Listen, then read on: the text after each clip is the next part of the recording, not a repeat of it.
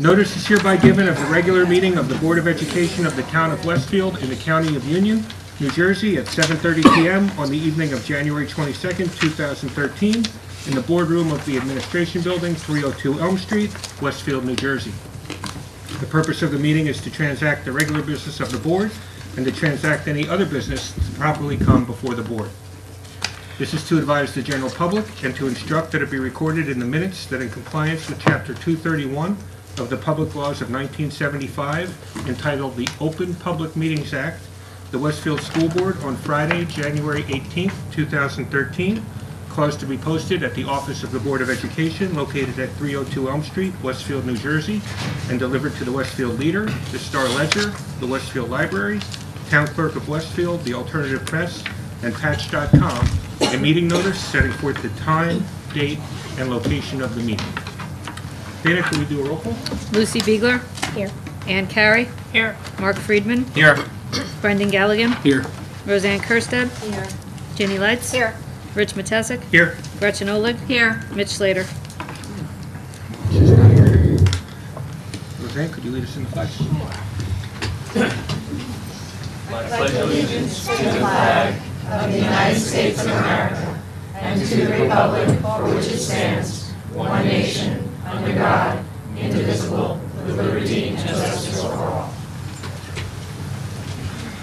Okay, announcements. Brendan, anything down here? Yes, uh, new intermediate schools. The Science Olympiad.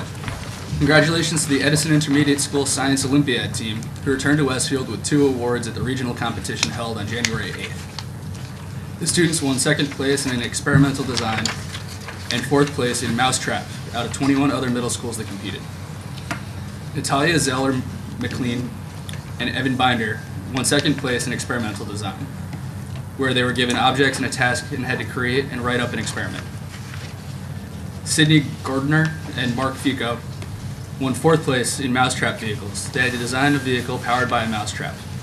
The 18 students who participated in the competition, all eighth graders at Edison Intermediate School, take Science Olympiad as an elective. Kudos to the students and their science teacher, Willa Schaefer. Thank you.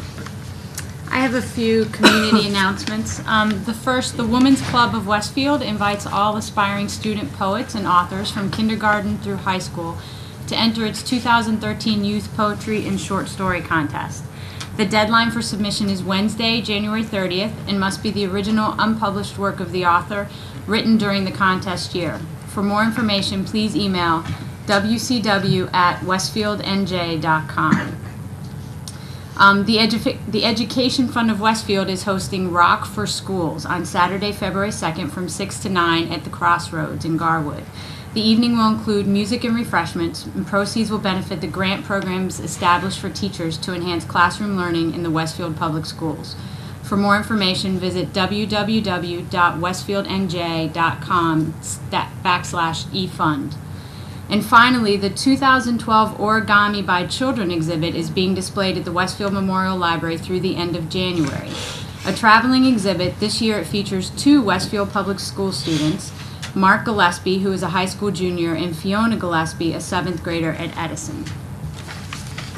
Thank you. This is from the intermediate schools and the robotics team. The Westfield robotics team, hailing from Edison Intermediate School and led by Westfield technology education teacher Sean Bonacera, won the PTC Design Award at the Piscataway First Tech Challenge qualifying competition on January 12th. The team won the same recognition on December 15th at the Tech Challenge qualifying competition at Livingston High School, sponsored by FIRST, which is an ac- acronym for For Inspiration and Recognition of Science and Technology. Westfield's team began as an after-school robotics club that this year includes six students who are, all current or former students at, Edison Intermediate, including Neil Makia, Jordan Hindis, Vivek Srinivasan, Jen Rogers, Spencer Fishman, and Mike Carides. The students received the award for functional and aesthetic design for their wirelessly remote-controlled robot that was built to collect and place more plastic rings on a rack than the opposing teams within a two-minute time frame. Congratulations to these talented students and their advisor. And this is from the high school. Westfield High School students won top awards in the Model UN Conference held January 4th through 6th in Hershey, Pennsylvania. It was attended by approximately 50 schools in New Jersey, Delaware, Pennsylvania, and Massachusetts. The Westfield High School delegation, comprised of 140 students, earned the Premier Delegation Award, the Outstanding Country Research Paper Award, the Premier Diplomat Awards, Youth Secretariat Award, and 10 Westfield High School students were elected to attend this summer's conference on national affairs. The club's advisors are Westfield High School teachers Daniel Faribault and David Della Fera. The club is run in conjunction with the Westfield YMCA. For names of the, of all of the students, 140 40 of them, receiving awards, please check the homepage of the district website. Congratulations. This is a flu reminder. As has been sadly evident during the last several days, the flu season is upon us. Every year at this time, people of all ages are exposed to this virus. In an attempt to limit the number of cases, we join our school nursing staff in reminding families to take some important steps to limit the spread of this virus. According to the CDC, prevention and treatment include vaccination, attempt to stay away from people who are sick, wash hands frequently with soap and water. If soap and water is not available, use alcohol-based hand rub, and consult with your physician regarding the recommended medic- medications. If you have an elevation in your temperature, stay home and only leave your house to get medical care. Before returning to work or school, your fever should be gone for 24 hours. Without fever, reducing medications.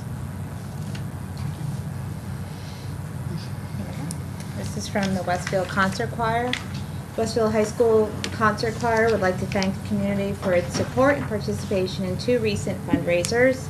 A total of $1,750, which will go towards scholarship, scholarships and future choir department trips, was raised through the Christmas tree disposal program. In addition, at its holiday concert, the choir department held a collection to benefit a Jersey Shore Christmas, an organization that helps families who have been devastated by Hurricane Sandy. Thanks to the support and generosity of the concert audience, $924 was received and converted into gift cards. And one more announcement from regarding the Westfield High School Sandy concert. This Friday, January 25th, from 7 p.m. to 10 p.m., Westfield High School will be hosting a benefit concert featuring four bands. All proceeds will go to the Westfield High School Helping Hands Fund and Hurricane Sandy relief efforts at the Jersey Shore. For more information, please visit whsbenefit.weebly, And from the intermediate schools regarding Geography Bees, congratulations to this year's Geography B first place winners, sixth grader Colby Chen from Edison Intermediate School and sixth grader Jasper Lemberg from Roosevelt Intermediate School. Congratulations. Um, And I have an announcement on Monday. I was pleased to attend the townwide commemoration of Dr. Martin Luther King Jr. Day. Our school district was well represented there with Board Member Ginny Lights in attendance, long- uh, along with 10 administrators and many of our teachers. We had many students from the elementary, intermediate, and high school in attendance with their families as well. Along with other representatives of the community, I spoke on the event's focus on the power of unity. And in my speech, I spoke of the power of unity that we had evidenced in Westfield in the aftermath of Hurricane Sandy, in the aftermath of Newtown, and right now as our students, staff, and the medical community and the parents of Westfield High School are working together as we deal with the sudden death of one of our students. This year in the Dr. Martin Luther King Jr. commemoration, we had an overwhelming participation by students in the competitions that were presented by Martin Luther King Jr. uh, Committee. And I'd like to thank all of the students who participated and would like to announce the first place award winners in each of the categories. So in the intermediate schools for essays, Sarah Israel, uh, an eighth grade student at Edison, won first place. For poetry, Emily Holtzman, another eighth grade student at Edison, won first place. And at the elementary level, for essays, it was Ashley Klein, a Jefferson student. For poetry, Jack Sumas, a Franklin student. And for art, Isabel Gauthier, uh, Tamaques students. And congratulations to all of the students who took the time to interpret the meaning of Dr. King's powerful messages and participated. Thank you.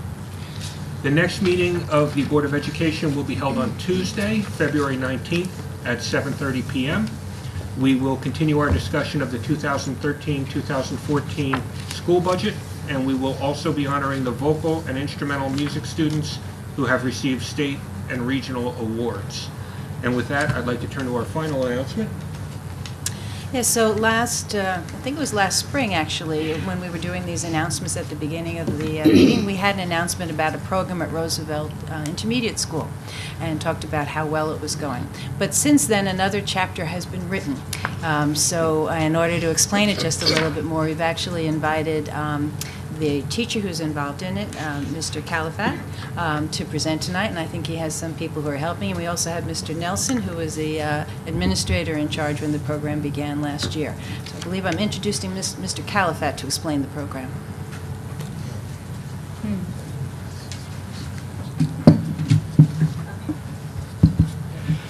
Hey, good evening, everybody. Ladies and gentlemen of the board, the district, the public, and thank you for this opportunity. As she said, my name is Matthew Califat, and I'm an eighth grade language arts teacher at Roosevelt Intermediate School. Tonight, we are very excited to announce the publication this month of a brand-new ebook edition of the classic John Steinbeck novel of Mice and Men. Now, why are we announcing this ebook at a meeting of the Westfield Board of Education?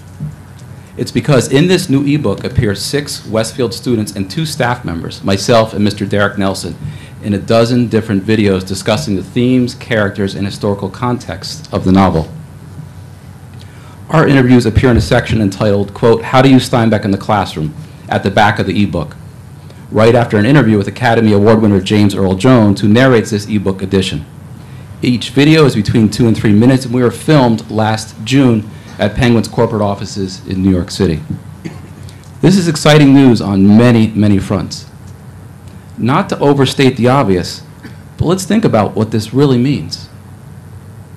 From now on, whenever any person or any school district buys this ebook, they will get us. Said another way, all of you, Greta and Rebecca, Maya and Owen, Max and Evan, and the Westfield School District name now live in digital eternity. Classic film buffs will get the reference. These six students are now freshmen at Westfield High School. I was very, very fortunate, and I mean that sincerely, to have had them as eighth graders last year at Roosevelt. I want to take this moment to publicly tell you how impressed everyone is who has seen you in these videos. You're all extremely talented and thoughtful young people, and I mean that from the heart. I also want to publicly commend your parents, many of whom are here tonight in the audience. Whatever you are doing at home is clearly working. Each of these students is a worthy ambassador of this district, this town, and young people in general. Now, the next logical question is, why would Penguin select Westfield out of the literally thousands of school districts around the world who read this book every year? Why did they pick us? And to answer that is my colleague, Mr. Derek Nelson.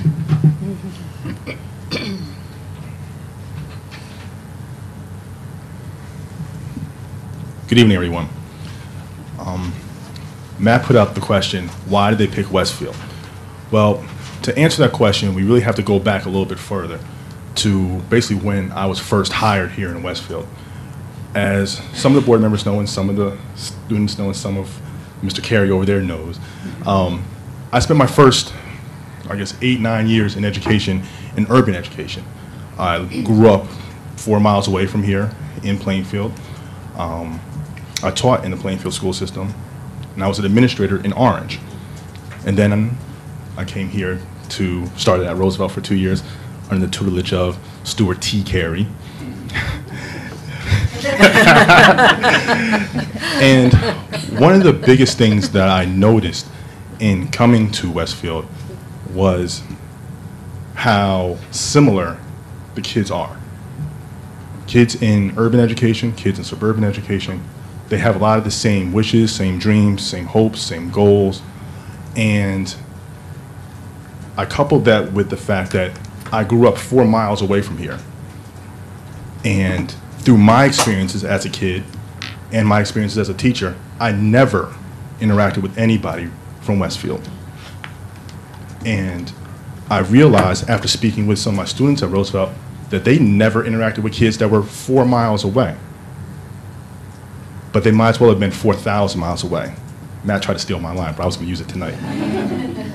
and I thought, what would be a good way to get these kids together? So I so happened to be walking around the building one day, and I walked into Matt's classroom. And little did I know that Matt taught in Plainfield. As a matter of fact, we taught in Plainfield at the same time. And some of my students, I taught fourth and fifth grade most of my years, were filtered into his middle school. So when I looked up and I saw the kids that I had taught on his wall, I said, wait a minute, how do you know Naomi? You know, and, and that started sparked that conversation. And that was, then they were looking at Of Mice and Men. And I said, you know, Matt, I have this idea. Uh, it's kind of crazy, but I don't know how it's going to work. But I have this idea that what if we could get a group of kids from Plainfield and a group of our kids here at Roosevelt together to talk about the American dream, which is an overarching theme of the book of Mice and Men. And Matt was like, Derek, that's a great idea. And so, being that I knew some people in Plainfield, I knew a lot of the administrators because we were teachers together, that sparked this whole process. I reached out to a friend of mine who was the principal of Cedarbrook School, and he thought it was a great idea, and we got two, two teachers together, and the rest is pretty much history. The program was started in, I think we did a year of planning, almost, almost. Spring of. Spring of, of 11, yeah, spring of 11. We planned for almost a year before we really got it up and running. And as we got it going, I said, you know what, this is something that really needs to be seen by not just people in Westfield, but abroad as well. So I wrote press releases, and I sent it out to the Star Ledger and to the Post, and I sent one to the New York Times, which I was like, oh, we'll see what happens. But the New York Times actually wrote about it, and they had to send a reporter out to come interview not only the, people and students here at um, Roosevelt and Westfield, but also students in Plainfield as well.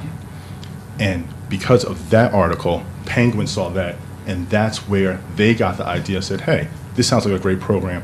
Let's reach out to them and see if we can get them on the ebook." And that's really where this all kind of came about.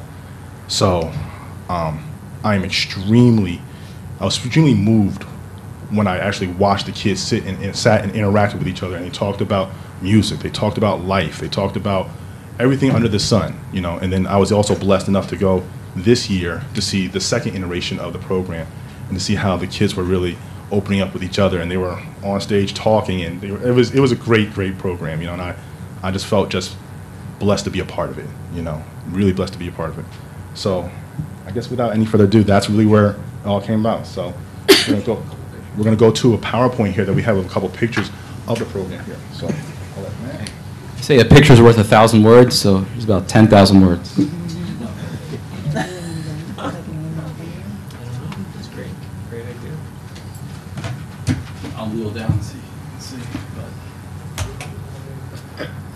The program kicked off with Plainfield students coming to Roosevelt in December of 2011.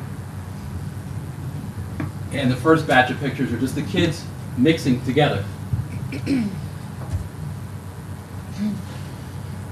And this is the first time a lot of these kids had seen or interacted with people who, quite frankly, were of a different color, different socioeconomic background. And Derek and I aren't going to lie, it was, it was a little awkward at first, it was. But youth takes over. And the kids became kids, as these pictures show. They ate lunch together, they attended their classes,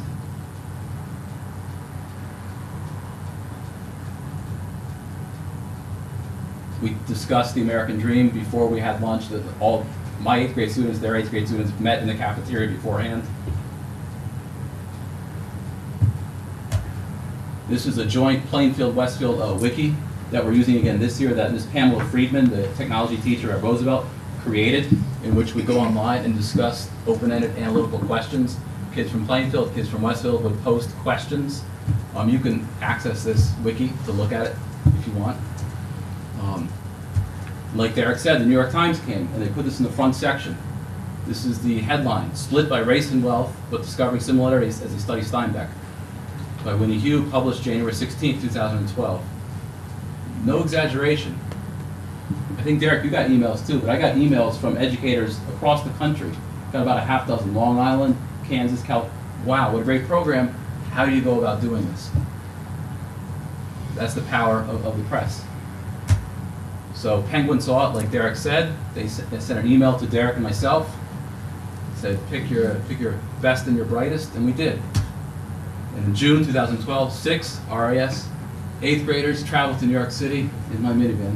we filmed the Penguin's corporate offices. It was just one of those magical days. The kids still talk about it today. I mean, we felt like big shots, and, and we, we were. there they are, uh, walking. They're like, Mr. Califat, stop taking pictures. You're not our father. but they, they could not be denied. Here, here's uh, Greta being filmed. It's a professional film crew that Penguin hires to produce their stuff. There we are outside their offices. They can lot of free books. And while this is cool, don't get me wrong, the ebook is wonderful. I think the, the, the heart of the story, to me, is the interaction of the kids. So, end with a couple pictures of the kids just, just being goofy together. I love this stuff. They're just hanging out, you know, hanging out with each other. That is the PowerPoint. Now, um, wanted to show you just a, a couple clips of the actual ebook. We have the iPad here. Uh, Penguin has donated uh, 10 free ebooks we'll use. Maybe we'll split them between the middle schools. I'm not sure how we'll do that. But they donated. They cost $11.99. You can get them on iTunes. Miley, you purchased it on iTunes already, right? It's $11.99 on iTunes. Um, just gonna plug this in and we'll show you a couple clips.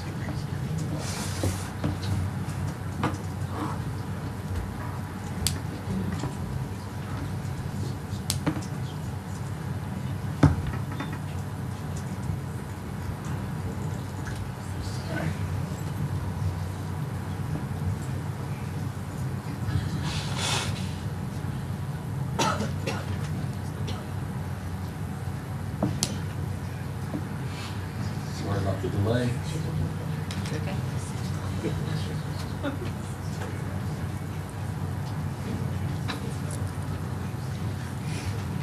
There we go.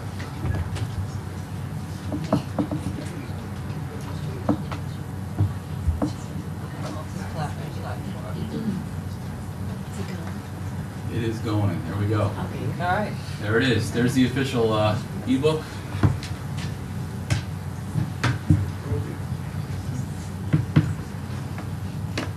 Lori, do you have a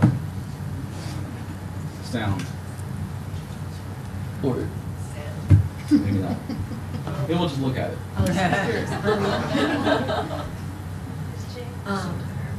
So this is the back of the ebook, and what you see is, you know, touchscreen activated. Just there's a, like a dozen different three-minute video vignettes of the kids discussing the various themes, and we were, like I said, filmed in uh, June.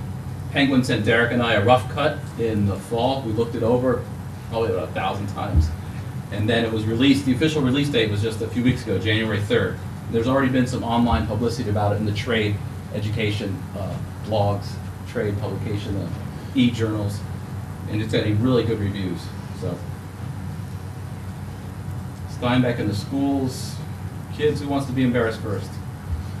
All right, I'm gonna, uh, That's a I'll brave play, I'll- I'll try and play one of these, and Will you have sound from your iPad? You want this mic? it might just play.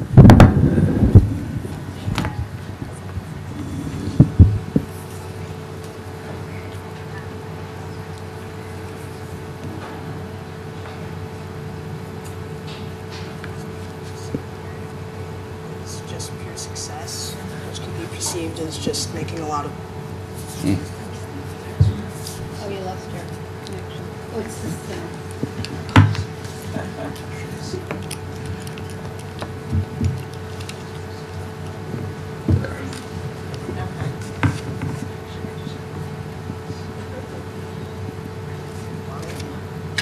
which makes seems to make a lot of people happy, but I don't think it's true happiness. I think that happiness overall is the American dream, but I think that on the surface, what we really have is the white picket fence and the stereotype of having property, but I think that behind that is really the independence and the happiness. And I think most people want to be successful, but that's more associated with money. But I think that the real true success in life is when you're happy and you have your family and your friends are all there for you. Well, George and Lennie's American Dream is get their own piece of land, have animals on the land. I think even though their dream is to own land and to be able to like live in their own little house and they can go out whenever they want, their real dream is just to be independent, to be able to go wherever, do whatever, have no one above them. And I think for a lot of people, the American dream is the exact same thing. Even though we have our specifics, like you may want a certain job or to live in a certain place, everyone just wants independence and know they can stand up on their own without someone else. So that's a sample of uh, one of the dozen videos. And again, very impressive work for 13 and 14 year olds to think on that level and articulate themselves. Another video, or we're good? All right, we will introduce the kids now. They're here on a school night.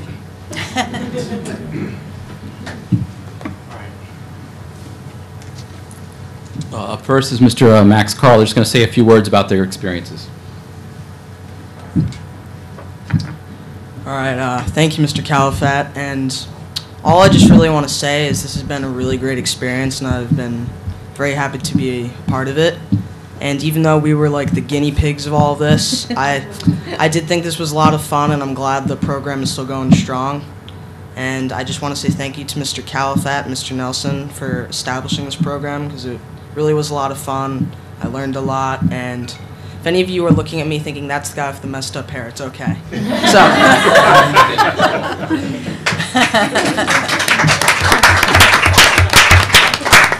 Um, well, I thought that it was a fun ex- Oh, I'm Evan, and I thought this was a uh, fun experience, and it was both experiences meeting the Plainfield kids and going to film in New York City were both fun experiences, and I would definitely do it again with another time if we could do that.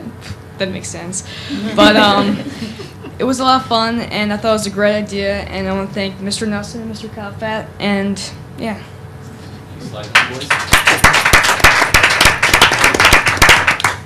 Hi, I'm Rebecca. Um, I wanted to say that the trip to New York was a really, really different experience because um, when we were there being interviewed, it was a lot different than the classroom experience because um, we had to kind of keep our focus so that we wouldn't lose track of what we were saying because we were the only ones talking and they're just asking us the questions.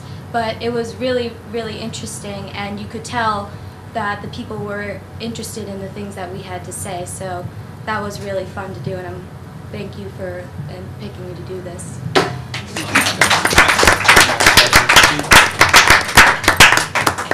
Hi, I'm Greta. Um, I just want to thank you both and Mr. Perry for um, taking me to do this. I learned so much last year. I think I'd have to say more than I did in all of like schooling combined. I just think um, I learned so many life lessons and everything on these two days or three days, right? Yeah, three days um, with the Plainfield Westfield Exchange and Penguin. I learned so much about how sheltered we are in Westfield and how, as Mr. Nelson said, we never go outside of our town. But when we did and we met these kids from Plainfield, we realized how similar we were to them and it was a great experience, so thank you.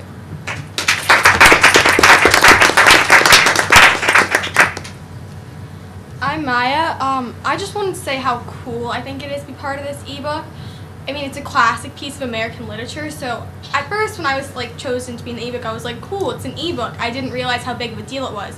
I was talking to my uncle a couple of days ago, and I told him I was in this ebook. He's like, "There's no way you're in an ebook for a classic piece of American literature." I like, "Yeah, I am." So I thought it was so cool. Also, being in the classroom with Mr. Califat, we were so free to explore any ideas we wanted.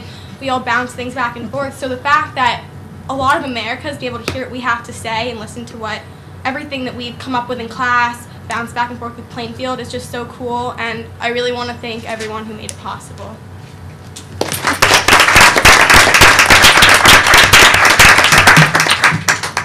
Derek, I think we'd be remiss if we didn't actually do a sincere thanks to uh, Mr. Carey. I mean, you and I both worked, you know, in corporate world and in other school districts, and it, not everyone says yes, but he didn't hesitate.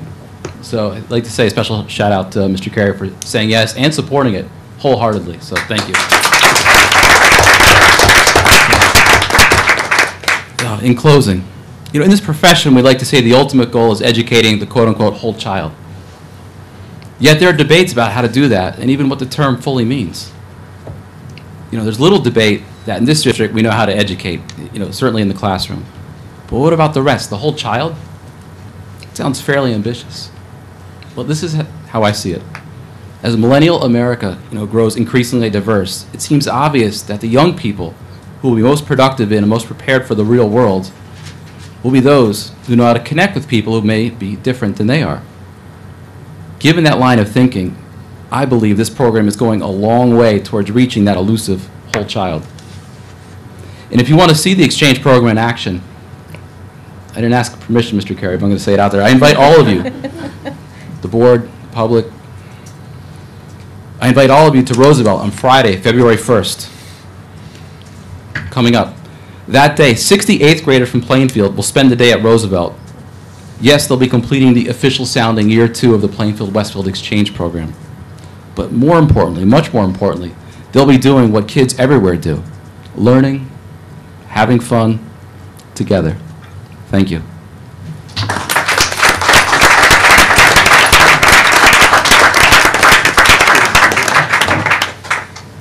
Thank you very much.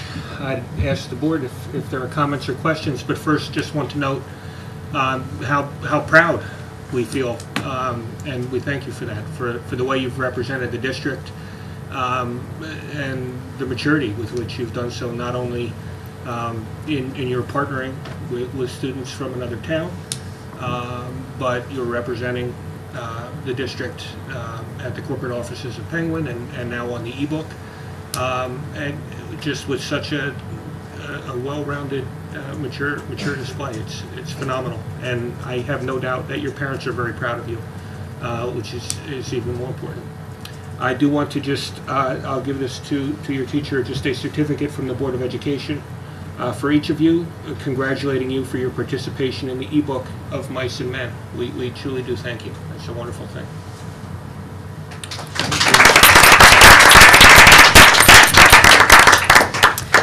Think I would just like to add briefly, I've, I've been able to view, I think, all of the videos. Um, It really is worth a download. Um, The students are amazing, their insight uh, into a book that probably just about all of us have read. Um, Some of it will remind you of what you thought when you read it, and some of it will challenge you to think a little differently. And I also will say, um, I was also so proud of both Mr. Califat and Mr. Nelson, and in uh, what they expressed in their parts of the ebook. Um, There's a lot of wisdom there, and I think we can be very proud of our staff members. So, so thank all of you. Thank you very much.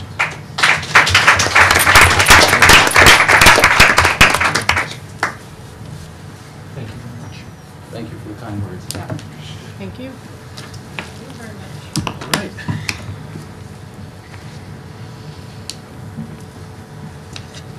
Yes. All right. You guys are welcome to stay. By all means, you don't have to. Or to get ready for ninth grade. Yes. Yeah, I'm sorry. I'd just like to mention before people leave that Owen Murray was also part of the um, group of students who are in the ebook, but he is home with the flu. So um, we'd just like to thank him for his participation and congratulate him as well. Thank you very much. Thank you.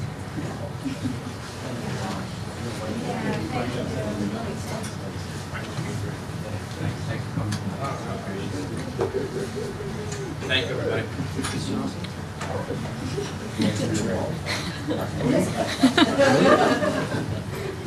Okay.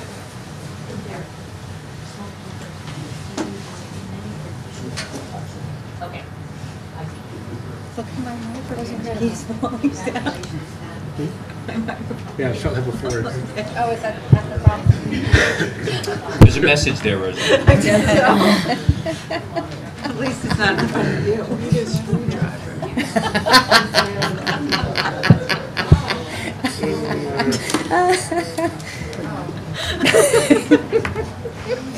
really get that good. That was- that was a good- After the meeting. Okay. Good? Yes. All right. With that, I would like to recognize the public for agenda items only. Seeing no one come to the podium, I'd ask that we move to the superintendent's report. Dr. Dolan. Yes, so we have two superintendent reports this evening.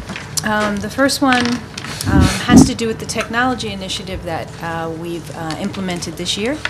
Um, We certainly have talked about it quite a few times at this table. We, last year, we talked about planning for it and what we would be able to do. Uh, We uh, did a lot of work last year, a lot of work over the summer, have started the technology initiative, and one part of that technology initiative is the um, um, support for our teachers in the form of master technology teachers. We have two master technology teachers, one for our elementary schools and the other for our intermediate and high schools.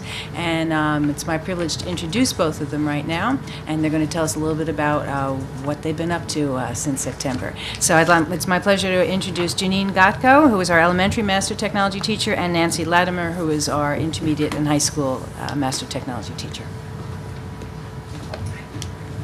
Hi, everyone. It's great to be back. We're very excited to be here to update you on what we've been up to since September. Um, What we thought we would do is to show you our websites as just a talking point so you could kind of get a feel for what we have been doing. Uh, The first thing that we needed to do, obviously, was to um, lay the groundwork. So how would the teachers know who we are, what we have to offer? How would we fulfill the needs of the teachers? How do we even know what those needs are, and so forth? So the first thing, um, up there on the screen, you see my, my website, and we'll show Janine's in a little bit. Um, That website is accessible from the high school main website, also from the Edison main website, and from the technology uh, instruction page from Roosevelt's site. It's also accessible from a, a the district website. So there's multiple ways to get to it. Um, What basically happens here is this is a point of contact for the teachers if they would like to basically ask for help, if they would like to ask a quick question, perhaps they want information on a one-to-one basis. So I have a form there on the right that basically says if you could fill out the form, tell me when you're available, and then we could set up a meeting time for a one- one-on-one time. How do they even know who we are? Well, in the beginning, what we did was we went around to uh, faculty meetings, we introduced ourselves, we spent time with the, the principals, we spent time with vice principals, we go to department meetings, anything where we could sort of get our a foothold in, send out uh, emails. Janine sends a lot of emails as well. So anywhere we, we can kind of uh, put ourselves out there so people would know who we were and, and why we are here and how we can help them. Okay. We also initially created a survey, and the survey asked a lot of questions about different types of technologies. So it might ask, uh, what types of technologies are you interested in learning about? It asked, how proficient do you feel you are with technology? What type of learning is best for you? Do you prefer one-on-one, small group instruction, professional development, and so forth? Okay. So when they go to my website up here on the main page, what I have is a variety of information. In addition to being able to schedule the one-on-one time, I have information about professional development. What I do for that is I do uh, what I call tech talks. That's a 40-minute talk on a particular technology based upon the survey results. I do this during either lunch periods or during the morning periods, depending upon the school. And so I repeat it multiple periods, and the teachers can kind of drop in. If it's a lunchtime, they can bring their lunch, they can sit. I talk about a technology, they get some professional development time. In addition to that, I do uh, professional development courses that are available to everyone after school. I find this works really well because some teachers say, well, you know, I really can't come after school, and other teachers say, well, you know, it really works best for me at lunchtime, and it's really a mix. So it's, it's constantly evolving to try to serve the needs of the teachers at the various schools. Okay, so I'm going to come back to give you some examples of what I've been doing in a little bit. Um, Dana, would you mind just clicking on that iPads tab there? Obviously, iPads have been huge, particularly with the lower grades this year, because in many cases, the iPads are the only technology that they're really using. So on this page, we have the procedures, and Janine has something similar that we developed for if a teacher is requesting an app to be installed on the carts. So the multiple carts of iPads, they go through a procedure that basically sends the request first to Janine or myself. We kind of review it from a technical standpoint, and then we send it on to the supervisor and the principal of the building. They ultimately make the decision whether or not the app gets installed. At that point, we go back to the ITS for the building. So we work very closely with the ITS to try to help support them with what they're doing in their individual buildings. So most people probably don't use the term "it's." Ins- Instructional technology specialist. Okay, somebody mentioned Pam Friedman before, so there's a, there's a person doing that in every building except for the high school. So we work very closely with them to try to support them. And, you know, the advantage that we have over the instructional technology specialist is that we have flexibility. They're, they're teachers, so they can only help people when they have free time, whereas Jeannie and myself can help people whenever it's convenient for them. So if they fill out a form and they say to me, you know, I'm, I'm free fourth period on Thursdays and Fridays, I can set up that time and come over when it's convenient for them to their building and meet them wherever it, it it works for them.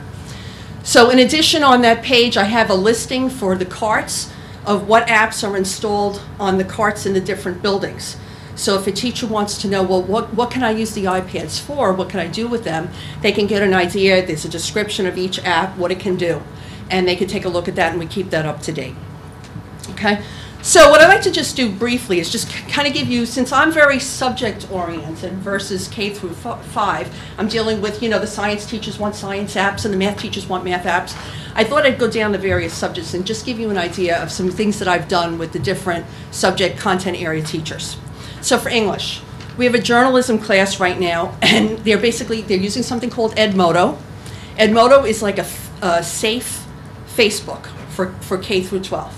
They use that to have classroom conversations outside of school. So that's a journalism class. So the teacher might ask a question, like in the beginning of the year, she asked them, what do you think journalism really is about? And they all responded, and they could see each other's responses. Fine arts. We have some great, so many great apps for the arts. Um, there's a free one called Art Circles, which it, it basically organizes by different content areas, by curators and things like that.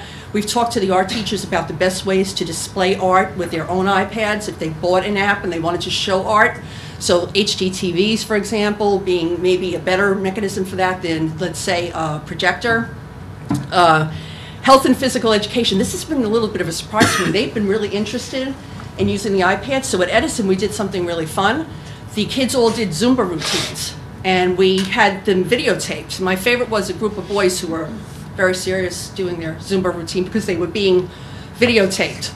And we, we basically, I taught the teachers how to create a safe YouTube online account, sent a letter home to the parents. The videos were all set to private, but then the teachers had a way to get the video off the iPad, because that's always a challenge because we're sharing the iPads. And they were very excited, the kids love that. Math has been a big user of the iPads. We can use uh, an app called Nearpod, for example, to do presentations. You could put up some a graph paper picture. The kids write on the iPad, and then the teacher can share the results of, let's say they were doing a problem on graph paper, they can share the results of that with the rest of the class. So the whole class participates. Science, we have some really great apps for the periodic table of the elements, for uh, one called Solar Walk that the teachers are using with their classes. Social Studies has been a really big user of the iPads. We use an app called Socrative, is very popular. It's, I don't know if you're familiar with clicker systems, but basically you get the class to participate by asking questions, by doing polls and things like that, and then the teacher can show the result of the poll, and it's all anonymous, which is really nice. So you could say like 50% of you answered this way. Um, world language, again, they create little videos. Maybe they pick out some pictures of monuments in France, and then they speak in the language about those monuments and create a little video. And special education, of course, the accessibility features of an iPad are fantastic. Uh, you know, you have uh, the ability to speak all the uh, words in a book out loud. You can make the icons larger and things like that. And a lot of teachers are not aware of those features of iPads, so we've worked on that as well. So I'm talking really fast because Janine needs to go. Sure. Um, I too as well wanted to show you my, um, I have a blog as opposed to a website. So mine is a little more updated on a daily basis. Um, it is my main communication tool between me and the elementary schools. Um, I have seven elementary schools that I'm working with, so I found this is the best way to get information out. There's a bunch of things that go on there, but mainly what happens is I've tried to put into some categories. Because the iPads are brand new to the elementary schools, um, a lot of teachers do not have experience with a lot of educational apps, so part of my job and the great thing about it is I have time to research apps and find apps that are good and find free apps, which are always a benefit. Um, when we have money constraints. So every day almost, when I find a good app that I feel is really good for the district or for a teacher to use, I will put it up there on the blog and it will be updated um, for the teachers to check out and kind of see if they want to use it with the whole cart. It's more for the teachers to see is it, you know, good for their classroom? Does it fit with what they're doing? And, you know, would this be something we would want to put on the cart? Um, I also like to include examples of different blogs that are out there for teachers to use for professional development and also for ideas for things they might have in their classrooms. Um, there are also examples of things we're doing in the district. So, Dana, if you don't mind scrolling down just a little bit more, you might have to go past some of the fun free apps. Um, there's an example, I think it's one more down there, um, where I sat in with a speech um, teacher over at Wilson, Mrs. Waters, and she was doing, it's one more, I think. She was doing a lesson with her students, one more, sorry, going down, one more. See, it's the updated daily with a blog. Um, this is it right here. Um, I call it Terrific Teacher Thursday. Um, I sat in with her and her students, and she was using the iPad with a app called Social Skills Express, and they were children who had um, social skills issues, and this was one about making eye contact. So I was able to sit in with her because she wanted my advice on how she taught the lesson. Did she think she was using the iPad effectively? I kind of monitored the lesson and gave her some feedback afterwards, but then was able to share with the rest of my subscribers and the people who go to my blog what was out there and you know how did she use it? What were some of the great things about it? Because maybe there's a speech teacher in another school that might not have known about it. So i'll put it up on the blog and do things like that. Um, also um, dana if you wouldn't mind scrolling all the way up to the top there is um, embedded in the whole entire website there are resources for the teachers to go to. So there's ipad resources similar to nancy's website where it has a list of the ipad apps that are on the elementary cards throughout each school. Um, we have tech technology classes that I teach after school, kind of like her professional development. So on Tuesdays, um, we have a schedule of them through the professional development department. I've also made all the resources for that class available on the website. They're called Live Binders. And um, the teachers can go into those live binders and get all the resources that they would normally get with the professional development class so that if they were not able to attend the classes, they could still be learning on their own. And a lot of teachers have said this is really great because of their schedules and all the things that are going on to do that. Um, we have been in the schools, obviously, not only just as professional development people, but like I said, teaching with the teachers. So a lot of that I have done um, with especially iPads because like I did mention, they are new to the district, especially at the elementary level. Unless teachers have had their own iPads, we've never had a cart like this with 30 iPads. And some teachers have found that overwhelming and not quite sure how do you make that work in a class of 22 first graders, which can be very overwhelming if you think about it. So one of the things I've been doing for the past four months is going in to most of the first and second grades, depending on the building, um, and even the third, fourth, and fifth grade in other buildings if they're just starting out, and kind of going over iPad orientation. How do we use an iPad in school? You know, showing them how we navigate through the iPad apps, how they take care of the volume, turn it on and off, simple things like that. And then we've kind of built on that. So I'm now into the process of going into secondary lessons in some classrooms where we're actually using certain apps and we've worked it into their lessons. Um, just like Nancy did, I just want to highlight a few things at each grade level because, like she said, she's more subject specific. Um, first grade, what we've been using is there's an app called EduCreations, and it is available online as well. And what it is is a whiteboarding app. And the students have been, just for an example, one of the educations lessons we're doing is they've been working with different types of sentences as they do in first grade. So they've been typing their sentences into the whiteboarding app, and then they create little slides, almost like a PowerPoint. But it's very simple. They draw illustrations to go with it. And then at the end, what you can do with Educreations is you can record them reading their sentences. And they make almost like a little mini movie of them reading their sentences. So when they're doing the different types of sentences, it's great because then they can read, you know, declarative, and interrogative sentences in the different tones that they're supposed to, and then they can hear it back and it's they they love it. They think it's the coolest thing. Um, second grade, we've been doing a lot with the math apps. We do um, have five of our everyday math apps that go with our math program on the iPad. So we've worked with them with reinforcing their math skills.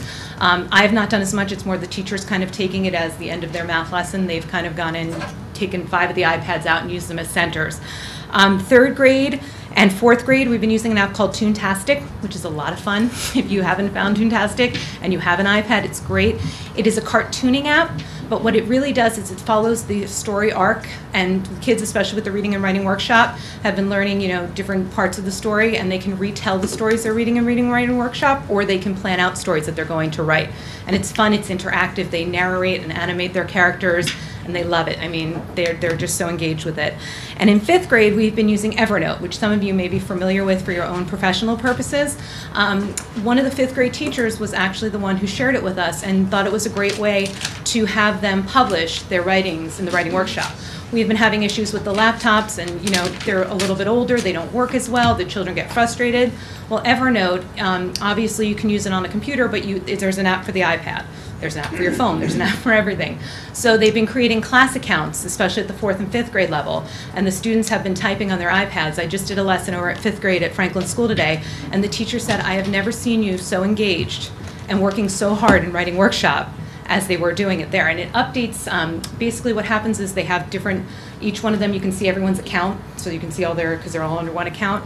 But they can go in and they can peer edit together, and they can give suggestions, and the teacher can also follow what they're typing. And she has been going in, one of the other teachers, and, you know, while they're typing, giving them suggestions right there, immediate feedback. So they've been loving that. Um, and then the last thing we're doing is she mentioned Edmodo. She's using it with the, the students. It's not really as appropriate for younger students right now, but we're using it as a professional development tool. And one of the things we've developed this last four months is we have an Edmodo group for each group, for each grade level to share their resources with the new reading and writing program. So we have about 60 to 70 members throughout the district who are, you know, it's in the infant stages, so we're trying to really work on putting it out there and getting it out there, but they're sharing resources across the district. So if a teacher's got a great idea in Jefferson third grade, they post it to the Edmodo site, and a teacher at Franklin can, you know, take that resource and use it in their classroom. And it's really something the teachers have wanted for a while now, so it's a great tool and we've been using it. Um, there's been a lot going on. Our heads are spinning, basically, but it's been wonderful because, like Nancy said, having this opportunity, we have the time now, not just for the scheduling, but for the research to go behind it and to get out to them the best practices. And the teachers have said that's been the most wonderful thing is that now they feel more confident. You know, people have confidence mm-hmm. levels, so they just need little tips.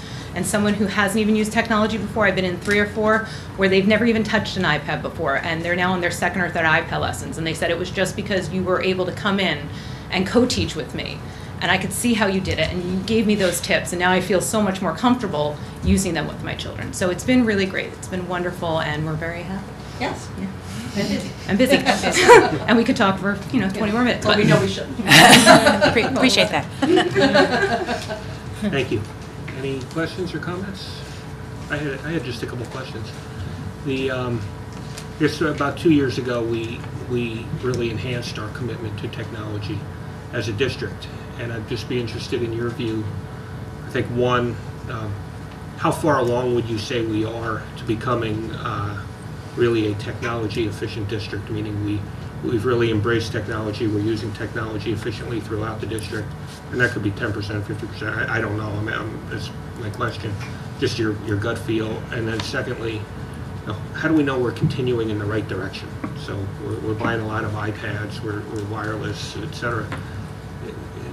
How do, how do we, how are we sure we, you know, we should continue to do that each, each budget cycle, and particularly with this budget discussion coming up, we're gonna talk about whether we should include additional amounts and how they should be used. So just would be interested in your thoughts on that. Um, Well, I would say one thing that I've seen, uh, I think using iPads at the, at the uh, high school level is more challenging, we've discussed this, um, because what happens is similar with um, the ebook that they created, uh, the teachers want the students to create content, and it's very difficult to create content on an iPad that's being shared around a building. Uh, It's challenging because they're really a one-to-one device. So we've had to be very creative in ways of uh, getting that to work. For example, if you're familiar with um, things like Dropbox or Google Drive, that helps tremendously. Like I instruct the teachers, okay, you know, have an account, and that way we have a way of getting the information and the data off the iPads. Um, one thing I've told teachers, in fact, it came up today. One of the biggest things teachers, a teacher asked me today is, I want to run Microsoft Word on an iPad and I want to run Flash on an iPad. And I'm like, okay, Steve Jobs is dead, but he's still saying no Flash. So we can't do that. And so I think the point of that is that people have to understand it as a tool, but it's not the only tool. And it is not the right tool for every job. You know, my husband's big into, you know, fixing things, and he always says to me, use the right tool for the right job, and that's what I tell the teachers. So when I had a teacher say to me, I'm going to bring all the kids into the classroom and have them create a Noodle Bib citation using iPads, I said, why? Why would you do that? Why would you make them type on an iPad when they can go to the library and use computers? So, you know, if that's possible, but some of the problem though is sometimes they only have iPads because they don't have a computer lab like they do at the high school, or their laptop carts are in such bad condition. So that's, that's kind of like the answer to your second question. Uh, From the first perspective, um, you know, since you're asking me, I, I feel like we, we have a, a ways to go. Right. It's But not surprising, we're at the beginning, Yeah. so. Right. But it has been a huge leap. I mean, just what we've done this year has Yep. been huge. Having been in the district Mhm. and worked with staff, I've been on the district tech committee for many years, and I was one of Mhm. the ITS or instructional technology support people for about eight years. And the fact that the iPad carts were wonderful, and like she said, it's a great tool to have, but the fact that you also put us in as support, I think that is a very key point. And uh, teachers have said that because they Mhm. said, like I said, maybe we would not have been using it as much if we just been given the tool and not the support and the, you know, resources to go back with it. And the Mhm. professional development classes too have been huge, like had more increased enrollment in them. You know, we only started them a couple of months ago, but I feel like the word is out there and it's spreading, but there is so much more we need to do as a district. Yeah, that, that ability to be available when they need us at their convenience is just, it's, it's, and again, the instructional technology special, they can't do that, but we can. So that has made a huge difference, and I find people more willing to try things. Sometimes I say to them, look, I'll just come into the room, your classroom, and I'll be moral support in the back, just in case you're feeling a little uneasy. They, that little extra push of support and help, it seems to be hugely appreciated. And so I think that it has been indeed a, a giant leap in the right direction. I was just. Thank you. Lots of questions. I was just gonna say, I think it's great that we have the ITS, only because some districts can move forward in leaps and bounds with technology, and you don't have the ITS helping out, Mhm. and they just sit there, they don't get used, they don't get utilized to the full, fullest extent. And there are a lot of people that need that support, Mhm, so. totally. I think that'll help our district move even further with whatever technology we move ahead with. So in your opinion, it sounds like when we purchase things in this next budget year, we should be maybe purchasing laptops as opposed to more iPads, or, or how do you feel about Yeah, that? I think, I think that really depends upon this, the situation. Uh, for example, today I had a science teacher who wants to run this virtual pendulum lab that she runs from a website. So I tested it from an iPad and it doesn't work because it requires Java, which is not again supported on an iPad. So those science teachers at the high school are much better off using their cart of laptops that they got last year than they are, generally speaking. Once in a while, there's like a great app for periodic table of the elements, you bring that into the classroom, it's great. But I, I think that, I think that the idea is that there's not one tool that necessarily is the tool. I think to have a, a, a mix of different, sometimes it's great to have a, you know, like maybe a, the Macs in, in like the, like, um, uh, they have in the, uh, fine arts, you know, it's it's a different tool for the job. And, and I think what's happened is, is that a lot of teachers seem to think, well, I have to use the iPads now. I'm like, use the iPads if they fit. Don't try to bend the technology, you know, to make it work. It should work for you. You shouldn't have to bend it to make it work for you. Then you're just using technology for technology's sake, which is not what we want to do. Right. So, so for example, like there's there's something called Chromebooks that, that Google puts out that are very inexpensive. I don't know if you're familiar with them, mm-hmm. Yeah. but it's you open it up. There's and I ask teachers, well, what do you think about this idea? I give you a laptop. There's nothing on it, nothing. You open it up, you get on the internet. You can use Google Docs to create your documents and so forth. And they look at me for a second, like, oh, God. and then they go, yeah, actually, that'd be okay as long as the internet's available, right? So I think it really depends who you speak to. Like somebody asked me, what do you think about getting the English teachers at the high school iPads? I, I said, I think you should talk to them. I think that if I were, and I have been an English teacher, if you put me on a desert island and gave me an iPad or my MacBook as a choice, I would take my MacBook as an English teacher. I do a lot of typing. Right, and I think last year when we did ask the English department, that was uh, the That's word right. that we got, and the science department as well. That's right. That's why we got less carts of iPads in the high school. than we, I think we were going to get four. We got two, and two carts of laptops. Right. So I'm just saying, I'm sorry, just once again, so going forward, Mhm. would you prefer that we furnished you with iPads or laptops? What would be, do- in your opinion? Elementary, I would say laptops at this Laptops. point. Because I think what we have is, is good enough for what we have now and what we're using them for. You know, Okay. and we have a card of thirty for every building. Okay. So it's, not- it depends on how the building's using it. Building by building, it's a little bit different, so you may want to talk to principals about that. But if I was making a decision, I would say they need laptops at the elementary level. Okay. Not more iPads. Great. Thank you.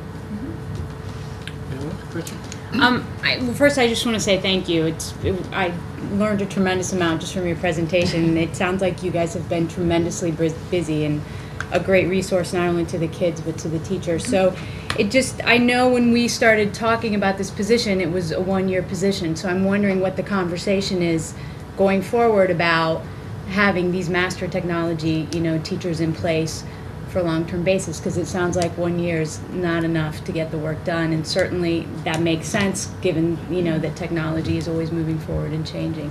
Is that a conversation that we're having or that do we Um, have it at budget time Well, right, and since we're heading into budget time, and our next presentation is actually on the beginning of budget process, I, you know, is one of the reasons why mid-year we did want to hear um, what has been being accomplished, what are challenges, what are successes, et cetera, um, so that we're better informed to, to make a decision.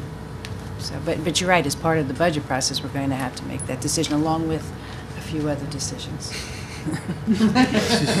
So can I, can I build on that question for a second? So with respect to teachers reaching out to you, so on, uh, I think on Nancy's, uh, maybe both of them have it, there's kind of this button you can press if you want to set up an appointment, you know, to get help. What, what kind of adoption have you gotten for the services that you guys provide? You know, if you have 500, you know, people that could come for you, um, you know, has everybody, uh, I realize it's not everybody, but is it 10%, 50%, 100%? You know, if we had one or two or three more master technology teachers, would, you know, I- I'm trying to get a sense of how big the box is.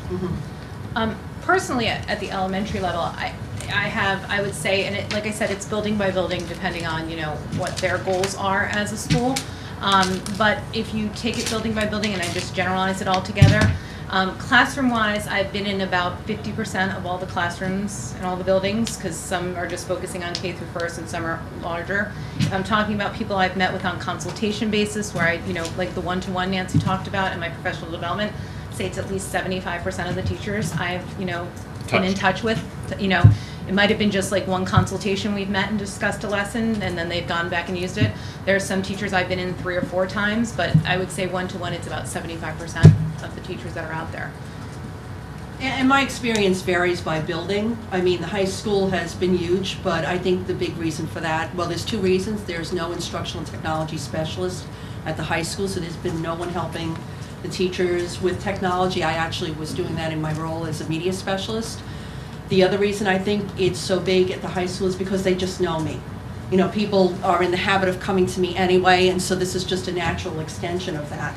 Um, I feel personally like I'm just starting to hit my stride. It's taken me a while, as one of the principals said to me, it's hard to become part of the culture of a building. And I struggle with that with the middle schools. And Roosevelt, it's, you know, Stu has been so great because he basically, he basically told them, look, she's going to be here on Tuesday mornings, you, everybody has to go see her. So I was like, oh, like I sat in the room, I was like, you know, it's great though, because people just stop by just to say hello, sometimes they talk to me. And in Edison, it's the same way. I, I kind of go to the teacher's lounge, I sit in the room. So I do a variety of things. Sometimes I think I do a lot more one-on-one with teacher consultations than I do in the classroom. I do go into classrooms, but I, I find myself being asked by teachers for one-on-one help more frequently than anything else.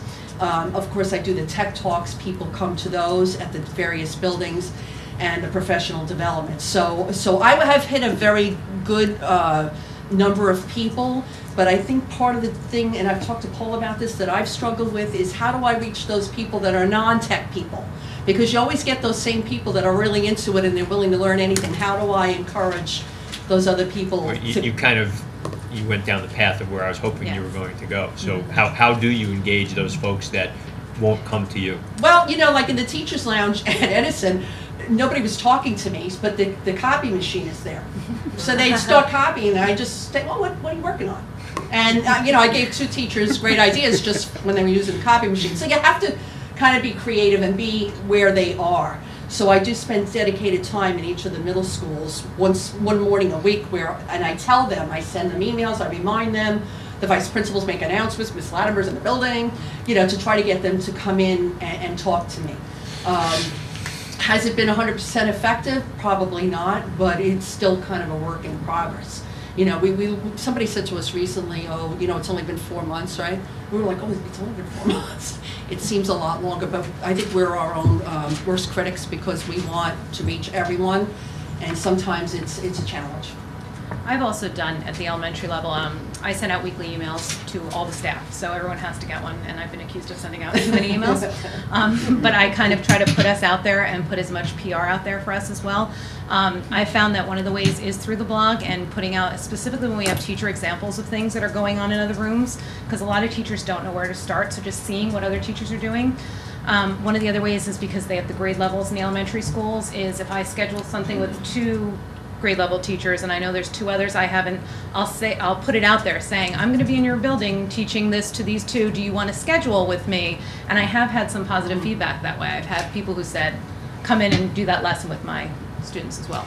Do we run the risk of, of being inconsistent ac- across classes within a grade and, and at different schools because we're, we're kind of allowing the adoption of these resources to be driven by the teachers as opposed to pushed by us a little bit more? Um, Sure, please. sure, please, please do. I'll, I'll let Mr. Pinero talk to this. Um, for- I'd like to thank uh, Nancy and Janine for, for getting up to speed on what they've been up to. They do a great job. The speed with which they deliver that, because I told them we have a long agenda and I'm, I guess, just taking up more time, is sort of akin to the speed with which uh, they get from building to building and do their jobs. They're covering a lot of ground. So back to your question, Mark, about how do we know we're reaching that whole group, uh, or as many as possible.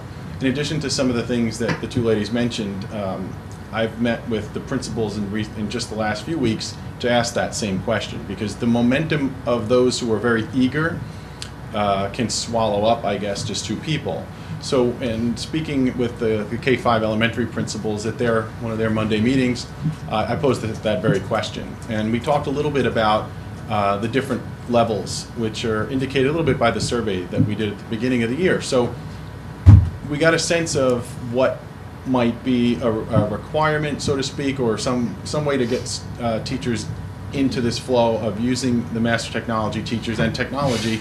And we came up with um, some basic levels that the principals would require across the board, K through five. And it could be something as simple as uh, how to use cloud-based storage for full, full-time access, 24-7 access to your stuff.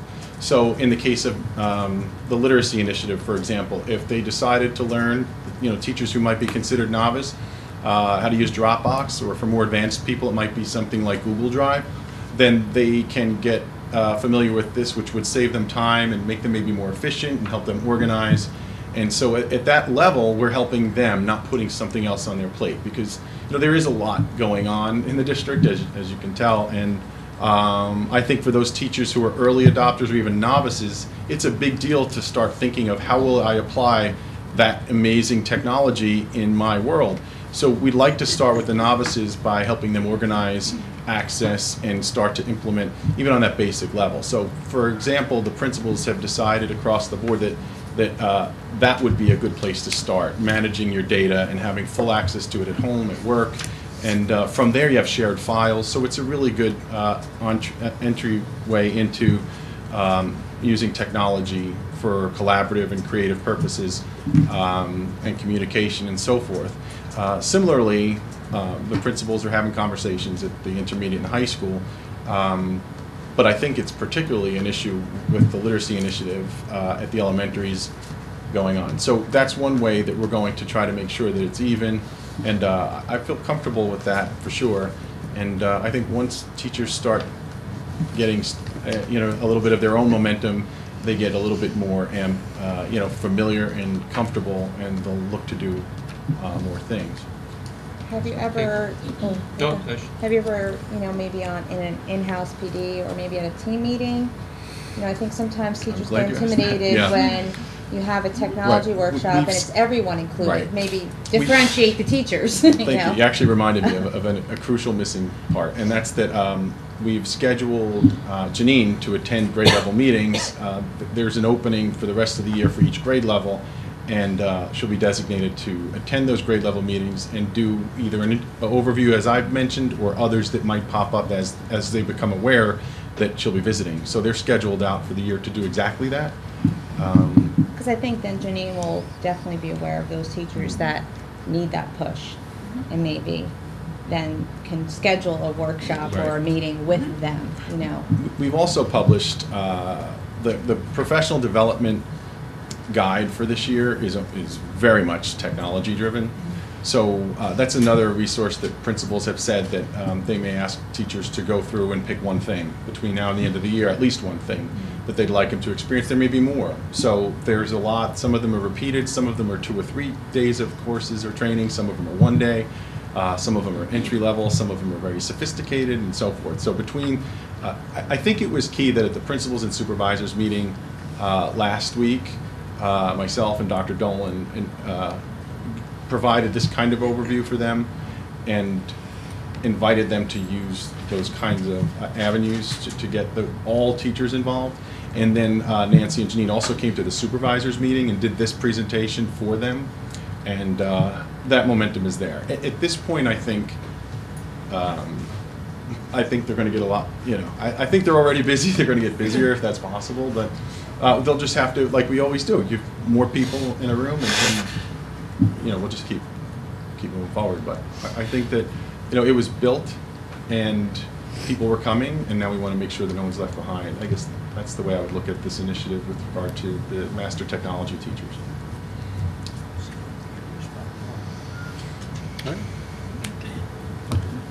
Thank you very much. Thank you. Thank you. Great. Thank you. Thank you. And for our second superintendent report this evening, um, as briefly mentioned, this is also um, the time where we start to prepare for our budget for the 2013-14 year, and um, to introduce about the budget process and the preliminary calendar for this uh, is our business administrator, Dana Sullivan. Thank you. Okay, so of course, the budget is, needs to be balanced between the district needs, goals, priorities, um, state mandates, core curriculum standards. Um, There's many things on, on that side of the equation. Has to be balanced with the dollars that we have available. Um, As you know, the state now has a 2% increase on the tax levy. That is the maximum amount that we are allowed to increase. Um, Anything above that would have to be um, voted on as a separate proposal, and that would go to a vote in November. Um, But any, the budget that we will adopt in the next come few months will be either a 2% cap or less.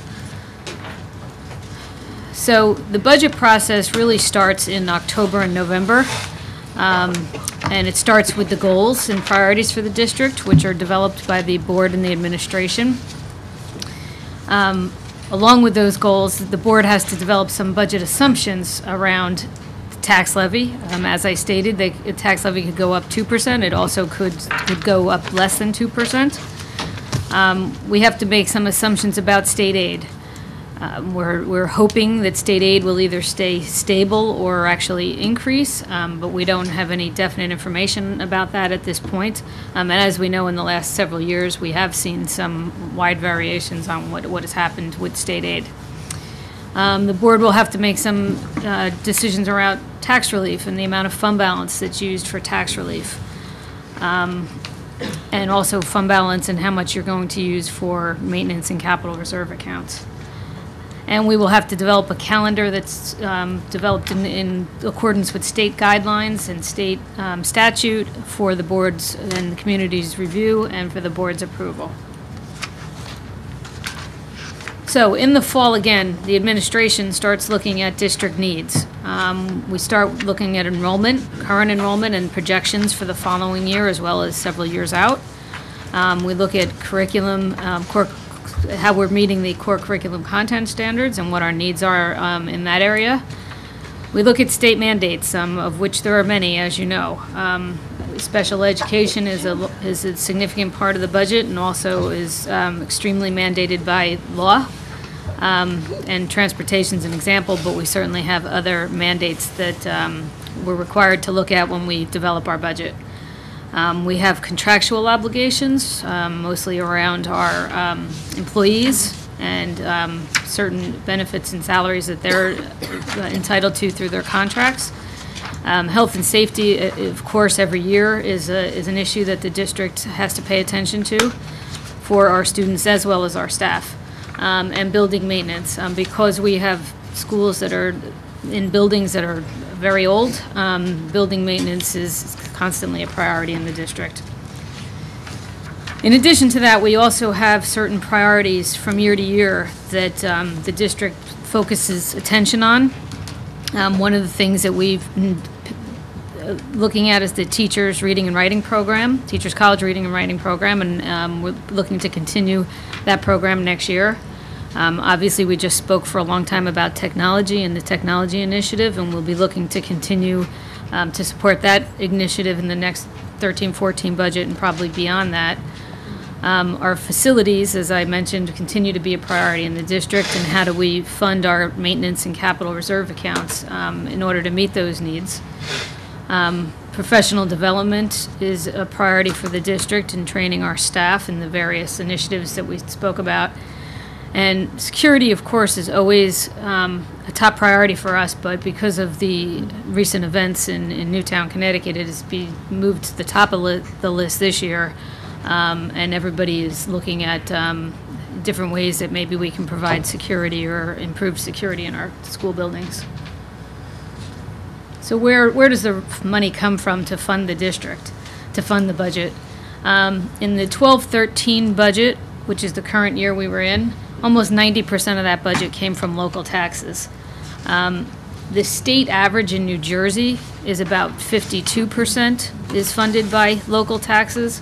Now, of course, the large urban districts tend to be more in the 90%, 80, 80 to 90% range. Um, so that, of course, throws off that average a little bit, um, where the wealthier districts do tend to be heavily supported by local taxes, and we certainly fit into that category. Um, all of our other revenue is, um, you can see, comes from very small, very small sources for the rest of that revenue. State aid is about 4.2% of the revenue. Federal aid is less than 2% of the revenue. And miscellaneous is all of the other categories of of um, income that we have. That would be building rentals, tuition for any out-of-district students that might attend our classes, special ed or regular ed, um, as well as also our subscription busing revenue also would be in that category. Um, And then the remaining revenue is from our fund balance, which is about 1.5% of our revenue. At this point, we've been told that our state aid information will come from, will be re- released on February 28th. Um, at- The first draft of the budget is due to the county office on March 7th, so that gives us one week from the receipt of state aid till we actually submit the budget to the county office. Um, So as I mentioned, the areas that will have to be determined, once we finalize our state aid numbers, we'll have to make decisions about our fund balance and how much of that we will use for our tax relief. We'll make an estimate of our other income, um, as I mentioned, and then we'll determine how much the tax levy that we need to support our budget. And where does the money go? So this breaks down the, the, how the money is spent. About sixty-seven percent of the budget is on instruction, and this, these numbers include benefits for staff. Um, so almost seventy percent of our budget is for instructional costs. Um, administration is, is eight point nine percent. Um, transportation is two point seven percent. Um, child study team, I can't read the number on my thing. Two point three. Thank you. Um, Nurses, guidance, and librarians is about six point four percent. Uh, maintenance is seven point eight percent, and as I mentioned, because our buildings are so old, we do s- spend a significant amount of money maintaining our buildings. Um, and then the other areas of the budget are, uh, very small in 0.1 percent, 0.2 percent. Um, athletics is one point one percent, also very small part of our budget. Um, and our debt service is about three percent.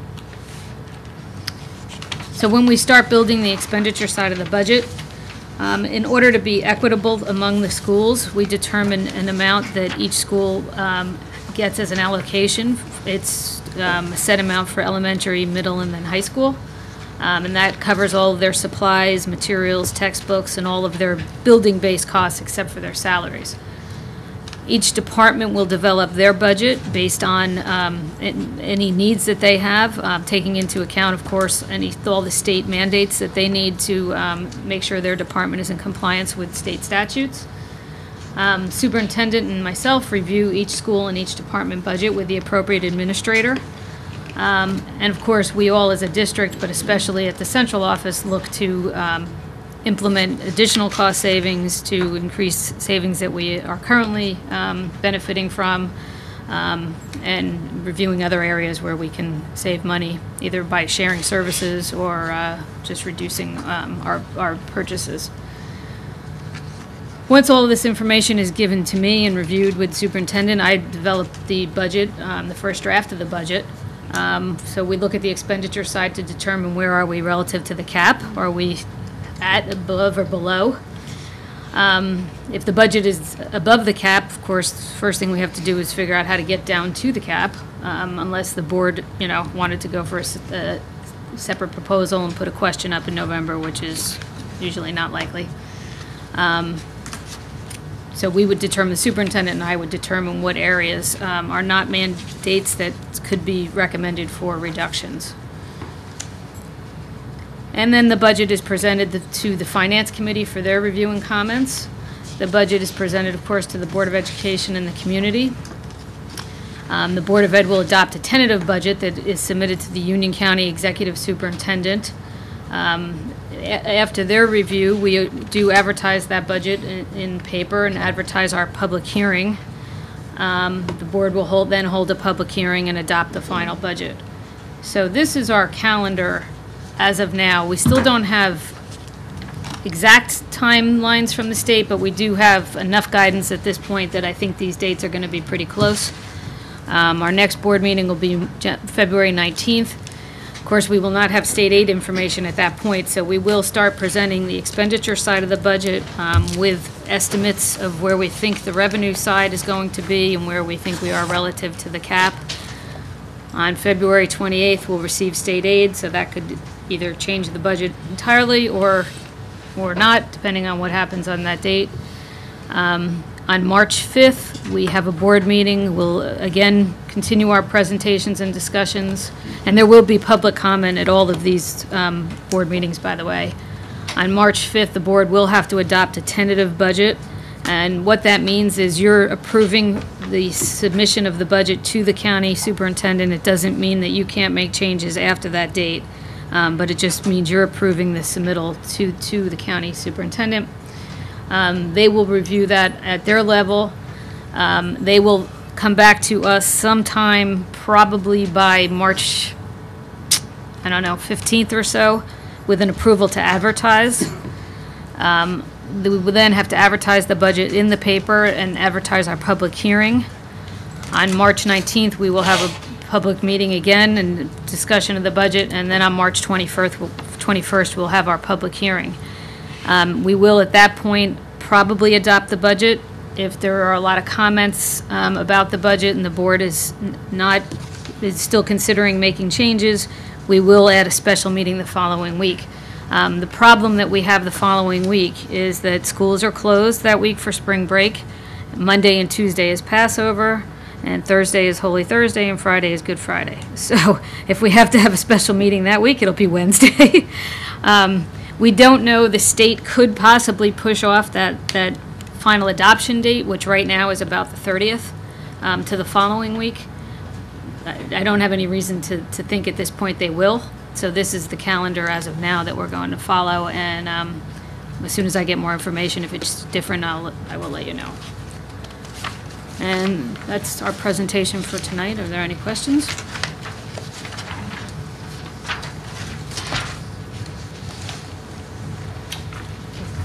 Um, Thank you. I think this is really a question for Dr. Dolan, but maybe not. Um, Under district priorities, you said that security had moved to the top of the list. And I was just wondering when the board was going to discuss security and maybe um, hear recommendations of various things that you want to update or change in the district. Sure. I mean, there are some um, immediate issues that we're taking care of in buildings and continue to be.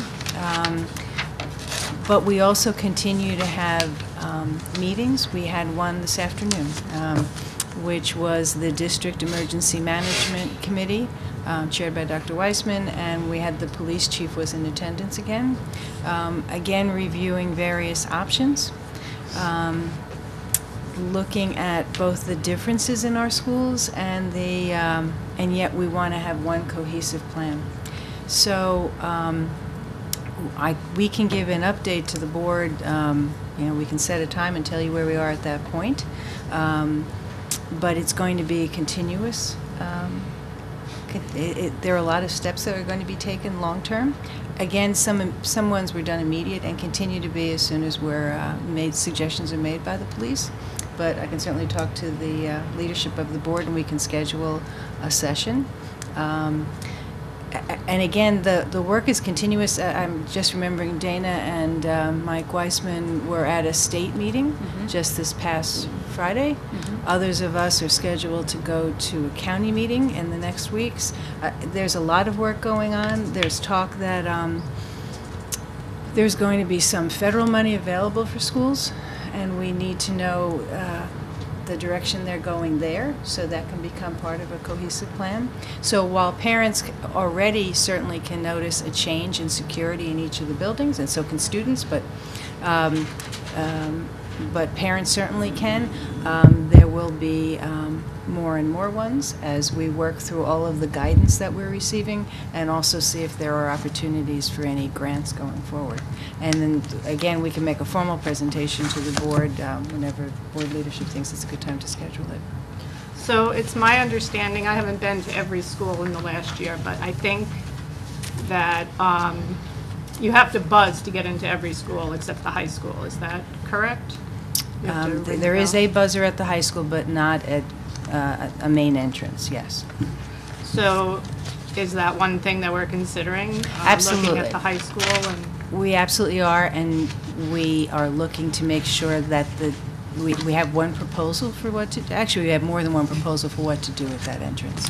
So while there are some things we, a- actually, other changes have been made for that entrance immediately so that it is secure, but the long-term, the more long-term solution as to how to change that entrance, um, I think we have three different ways that we're looking at it and continue to talk, for example, with the, with the police department as to what they think is the best solution. Mhm. So where there is a, a quick change, those have been done. Um, We've also piloted a few things in a few, uh, a few schools to see which is the best solution. Um, And where, and when we are making something that is a more major change, that costs more money, um, we want to make sure we're make, we're making the best choice. A a matter of fact, as part of today's meeting, we did have someone come in talking about how technology can help your security in various ways. And um, it was actually a pretty lively, lively discussion. I don't think everything that was suggested is appropriate for Westfield. One of the other difficulties is honestly, um, you don't want to give the details of your security plan. And part of security is not telling everyone what every, uh, you know, what every detail is of a plan. You don't post what your emergency plans are. We- We have emergency drills and plans in all of our schools, but, but it's not something you're going to post on the internet or discuss the details because then it wouldn't be a security plan. And trust me, the police chief does remind me of that fairly frequently. So um, while we could do a presentation, that would be fine. Um, if I'm vague, I, I'll tell you that that's intentional um, because that doesn't help if we tell all details. Uh, students need to know expectations, parents need to know what they can expect when they come to a school, staff need to understand expectations. But um, again, we're not going to talk about all the details of, of each of the buildings because that wouldn't be helpful. well, no, I wasn't suggesting that, of No, I know But I, weren't. wa- what I guess the board needs to look at is if we are going to spend money to change, uh, you know, an entranceway or put up cameras or whatever it is, uh, you know, I think at some point. Absolutely. Fairly soon, we would need to discuss that. Right. Agreed. Thank you. Any other questions or comments? Any other superintendent? No, um, there's no ones for tonight. All right. With that, I'd ask the board to approve the minutes of the board meeting held on January 3, 2013, special board meeting on January 8, 2013, and the private session minutes of January 3, 2013, and January 8, 2013. Have a second? Second. Ginny, uh, any comments or questions? I abstain on the third, on anything that was the third. And I will abstain on anything from the 8th. Okay, you got that, Dan? Yep. Any other comments, questions? All those in favor? Aye. Any objections? Any abstentions other than noted? Well, I guess I abstain on part of the meeting on the 8th, right? I was only there for the beginning part. Okay, so. You'll- you'll have to should note abstain when on the you're whole absent. thing. On the whole thing. Okay. Okay, thank you. Uh, Personnel items, Mark? Okay, um, I'd like to ask the board to consider personnel motions 1 through 18. We'll do this in two separate parts, so 1 through 18. Second. Questions? Comments? I have um, one retirement, if I could speak to that. Please? So after almost 30 years in the Westfield schools, Mario Ciullo, Edison's head custodian, is retiring. He began in the district as a custodian at Roosevelt, and then moved to night custodian Edison, and then became head custodian in 1994. Mario often refers to Edison as his second home, and I have to tell you, that's exactly what you want your head custodian to mm-hmm. believe, to truly believe, not just to say.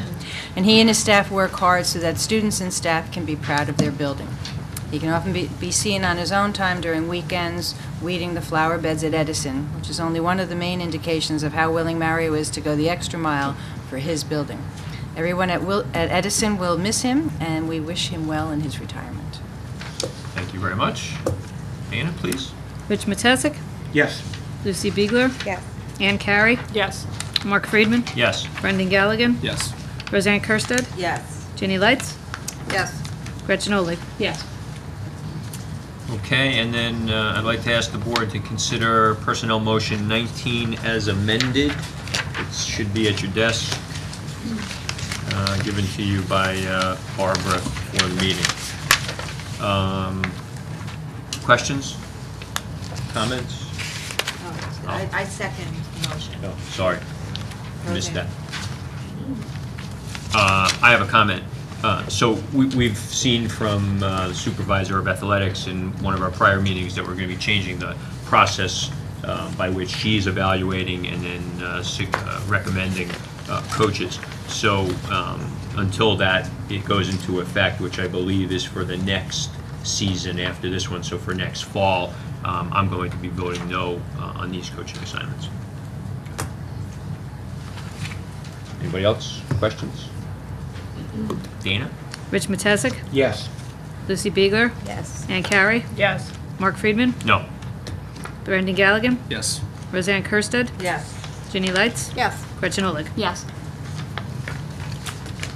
That's it. Uh, Personnel item number 20. The addendum. Ah. Sorry, I would have done that together. Okay. Um, So I would like to ask the board to consider personnel motion number 20 uh, that was added uh, before the meeting. I'd like to Second. second that. I'm sorry, who Ginny. seconded? Ginny did. Sorry. Questions or comments? Okay, Dana? Rich Matesic? Yes. Lucy Biegler?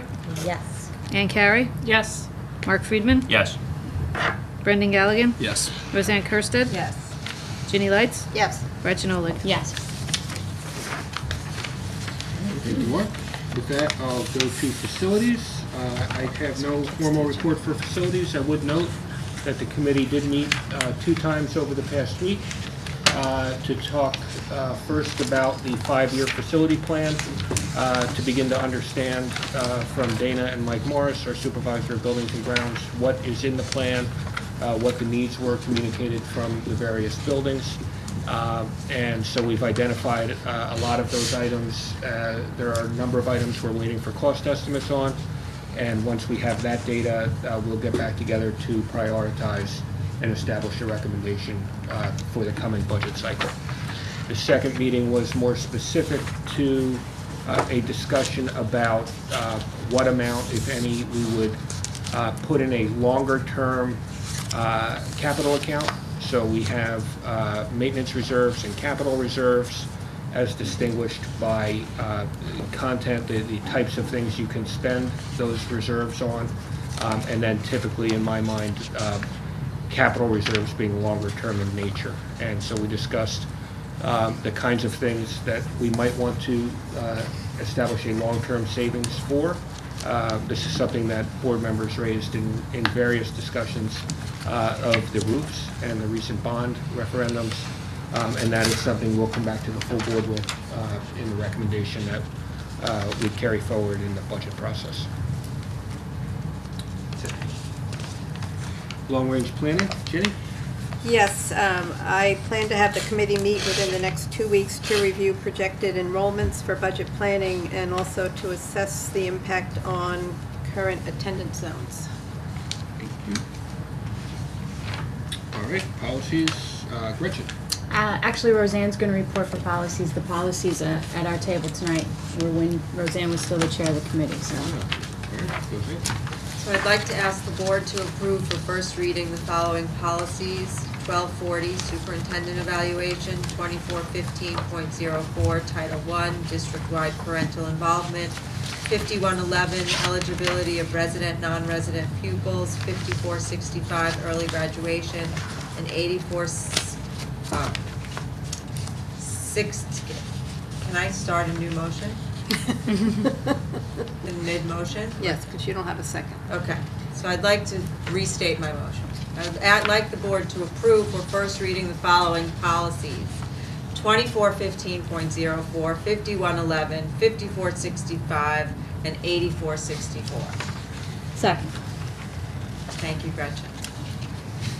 Um, Discussion or questions? Well, I'll give a discussion. 2415.04, the Title I proposal, uh, policy. Um, Some comments that I got from some board members I'd just like to review before we do approve this for first reading on page two of five. Two C, um, annual presentation of student assessment performance. Those are not capitalized because it is not a one thing. Um, D, the ad hoc advisory committee. It's not a committee of the board, and we consider our ad hoc committees, committees of the board. So it's being changed to ad hoc parent committee. You want to keep it ad hoc? I thought we had decided to without the capital. Oh, I thought you were just going to call them parent committees. That's fine. Parent committees, is that okay with people? Parent committees. And then on page three of five, five A.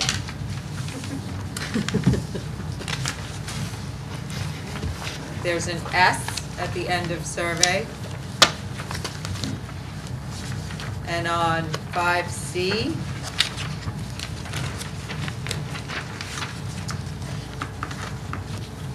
I'm going to read this. A review of all evaluative feedback and data by the Title I funded schools apostrophe principals.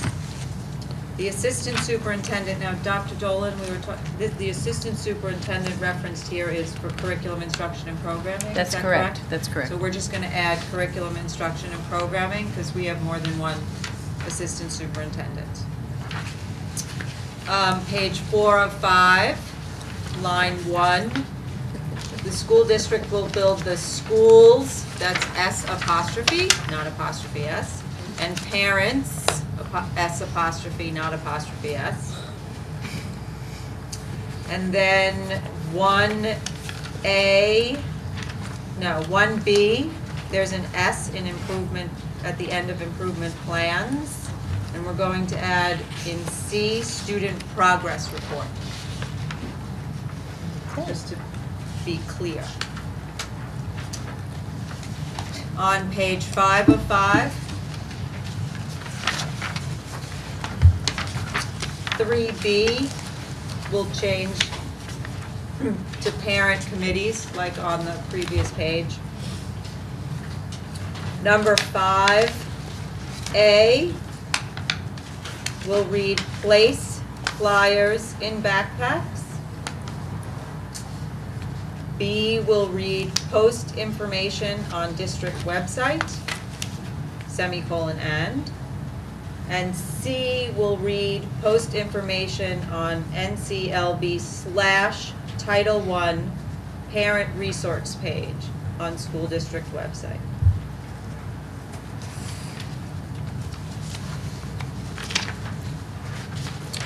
So are there any comments or questions on those edits? Yeah, yeah, one more. See, one more. Adoption, the final page. Yes. The first uh, uh, phrase, let's put Title One in there to define district-wide parent improvement. Oh, okay, the Parental- Title One district. Right. Which is the Okay. name of the policy. Right. Yeah. Okay. Thank you so much. Um, fifty-one eleven, the eli- eligibility of resident and non-resident pupils, there is an addendum, there is a revised policy on your desk, the page that is revised. It's red and purple, there you go, page seven of seven. Uh, As you can see, it said INS approved institution. There is no longer an INS. It is United States Department of Homeland Security. So that has been changed. The word may to shall has been changed to make it stronger. And then the, the date specific, the timeliness of the paragraph with November 1996 was scratched out. It's not necessary, yes. Roseanne, um, at the end of the first paragraph, Yes. there's a conversation about funding. Um, And this is about uh, granting support for uh, the um, institute, the educational institution to qualify the student for an F1 visa. And this final requirement is sufficient funds to cover the first year of study, access to sufficient funds to cover subsequent years, and yet in the third paragraph, it says that students could only attend a secondary school for a maximum of 12 months. Um, And that elementary student, in the second paragraph, are not, foreign students are not admitted to elementary school. So is there a conflict between wanting to know whether there's funding for subsequent years, but the maximum is a 12-month school period of time? Uh, the state requirement, uh, the State Department has specific guidelines about both of those. They mention both of them on their website about funding for, for, for additional years, plus the requirements about only one year of study. So I don't get it. Why is there a maximum of 12 months if they want to know that whether there's money available for more than 12 months of schooling? In case they change their mind. No, it's not good enough for me. I'm sorry, thank you very much, but, um, All I can Isn't that say in is conflict? this is what, it, this is what we were given by Strauss Esmay. Right. This is what we were, as Brendan alluded to, is on the state website and has been checked by our lawyers. So I am, okay. It, it just seems to me to be. Yeah, I, I understand Yes, the I question. agree. Yeah. I agree. Okay, I registered my concern. And, and we can s- see if there, there's an answer from the state for second reading, uh, but we did Yes. review it, as you said, and, um, and took it from the information available. But, um, sure. That, that phrase to cover subsequent years yes. just seems, um, Gratuitous. yeah, I don't know what's there for. I don't, I don't know where it's leading us to understand. Yep. Okay. So I'll ask about that. Thank you. Again, again. Um, and then early graduation. Excuse me, Yeah. um, page seven of 15, the next page that Oh. you gave us. Oh, sorry. Sorry. Seven, oh, we're not, that's the next, uh, oh, right, yeah. Um, number three at the top of the page? Yeah. It's a poorly worded sentence. The district will accept F1 visa pupils. I'm in the sorry. district With the payment of tuition, with the tuition contract to be signed before the district will provide the requested form. Couldn't we put the phrase? Do you just um, want to replace with, with provided, provided a tuition con- contract is signed? That would be all right. Payment of tuition provided. Well, to- the idea is that the, Oh, wait. the that re- doesn't the work. requested form, which, which really is not the I-20, it's I-20A-B. Right, there's, there's more information on the form, on the name of the form itself. I-20A-B. That form will be provided only after, or, or the district will accept visa payment only after receiving the signed contract and full payment. Seems to me that those things have to come first. Anyway, I, I would prefer that you rewrite the sentence. Gretchen, Okay. whatever you come So up we'll with is rewrite. fine. Thanks. Okay. Sure. Thank you. Okay. Um, 5465 early graduation is also at your table with some additional revisions. In the second paragraph, there was mention of demonstration of proficiencies on two different assessments, one being the HSPA, and the second one was AHSA, which was not consistent with what was spelled out in one. So we just made that more consistent. So it's high school competency assessments. And now it is, excuse me, in line. In that paragraph, I Yeah. think we should reference, or should we say HSPA or the HSCA? Should we add, or such other successor state-required or mandated tests? So that if there are other ones, we don't have to. The, um, th- there is no HSCA, that is a generic title, that's not So that a- would capture- So that's okay. The HSPA, yes, you could either say state-approved or state-required high school assessments, or you could do what you just suggested. Either way. I kind of like the, I mean, the HSPA is changing, so Yes. when, so I like the state approved better. State- State-approved high school I think that's smarter, right? Yes. State approved proficiency assessment? Is that? Yes? Or high school assessment. High school, high school assessment. Okay. And then we'll change that in one as well. You know what, I'm sorry, I think it should be s- state-required, not state-approved. Yeah. Okay. Yeah. Right, yes. It's whatever's required at the time, State enforced at the required time. High school assessment. Mhm. Proficient or advanced proficient. You'll figure it achievement out. In all sections of the state required high school assessment. Okay.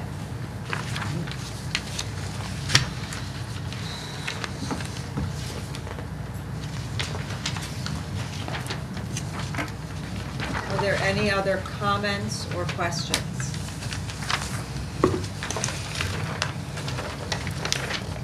We're just putting twelve forty off. I'm gonna, yeah, I'm gonna do Okay. that in a second. Okay, Dana, I think we're good. Rich Matesic? Yes. Lucy Biegler? Yes. Ann Carey? Yes. Mark Friedman? Yes. Brendan Galligan? Yes. Roseanne Kirsted? Yes. Ginny Lights? Yes. Gretchen Ohlig? Yes. Um, after speaking with some board members, I think that once again, we should table the superintendent evaluation, which is why I did not move for it to be approved. So we can have more time to really look at the policy and see if it not only is, represents our current policy, our current practices, but whether that is in fact the practices we want to happen. And we have new board members who have not been through the process, and so I think it would serve this board in the long run better if we took our time with this policy. A little more time. The policy committee has taken time, but I think we need a little more time for the whole board to really vet it out. and take a look at it. So that's why that has been tabled. And now I would like the Oh, board wait, to. we need to vote on that. Oh, do I need to vote on the fact that it's tabling?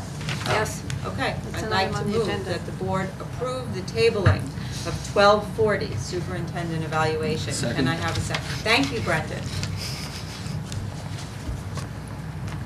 Comments or questions? Let's vote. Rich Matesic? Yes. Lucy Biegler? Yes. Ann Carey? Yes. Mark Friedman? Yes. Brendan Galligan? Yes. Roseanne Kursted? Yes. Ginny Lights? Yes. Gretchen Ohlig? Yes. Now I'd like to ask, now I'd like to ask the board to affirm the superintendent's decision on thirteen W A 2 13 W A 3 13 W A 4 13 W A 5 13 F 1 13 R one for the reasons set forth therein. May I have a second? Thank you, Ginny. Are there any questions or comments? Rich Matesic? Yes. Lucy Biegler? Yes. Ann Carey? Yes. Mark Friedman? Yes. Brendan Galligan? Yes. Roseanne Kursted? Yes, except for thirteen F zero one, I'm voting no. No on ze- 13F01. Yes. Ginny Lights? Yes. Gretchen Ohlig? I abstain.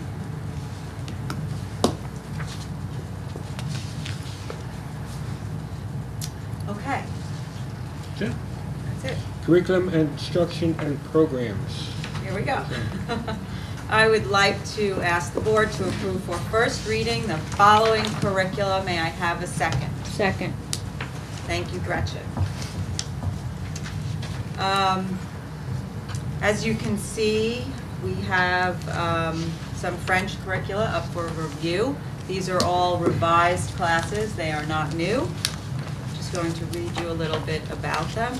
The study of French is a valuable skill that enables its learners to gain an appreciation of the many diverse aspects of the Francophone culture, people, and language. French is spoken officially in 33 countries and is the official working language of many international organizations, including the United Nations and the International Olympic Committee. Learners of French exam, students in our district and learners of French examine and discover the unique facets of the language and people who speak it, as well as the countries where it is spoken. The study of the language allows students to recognize the rich and unique cultures where French is spoken, promoting cross-cultural communication and understanding. Furthermore, the study of French allows for learners to become proficient communicators while also becoming familiar with the culture, history, and current issues of the people that the language represents. Um, As many of you know, as some of you might not know, all of our curricula are reviewed on a five-year cycle. So these curricula have been revised because they are, it's their turn in the five-year cycle.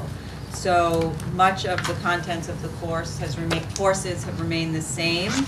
Um, The largest difference was in French grade seven and eight because they found that there was a heavy, there had been a heavy emphasis on grammar in the seventh grade.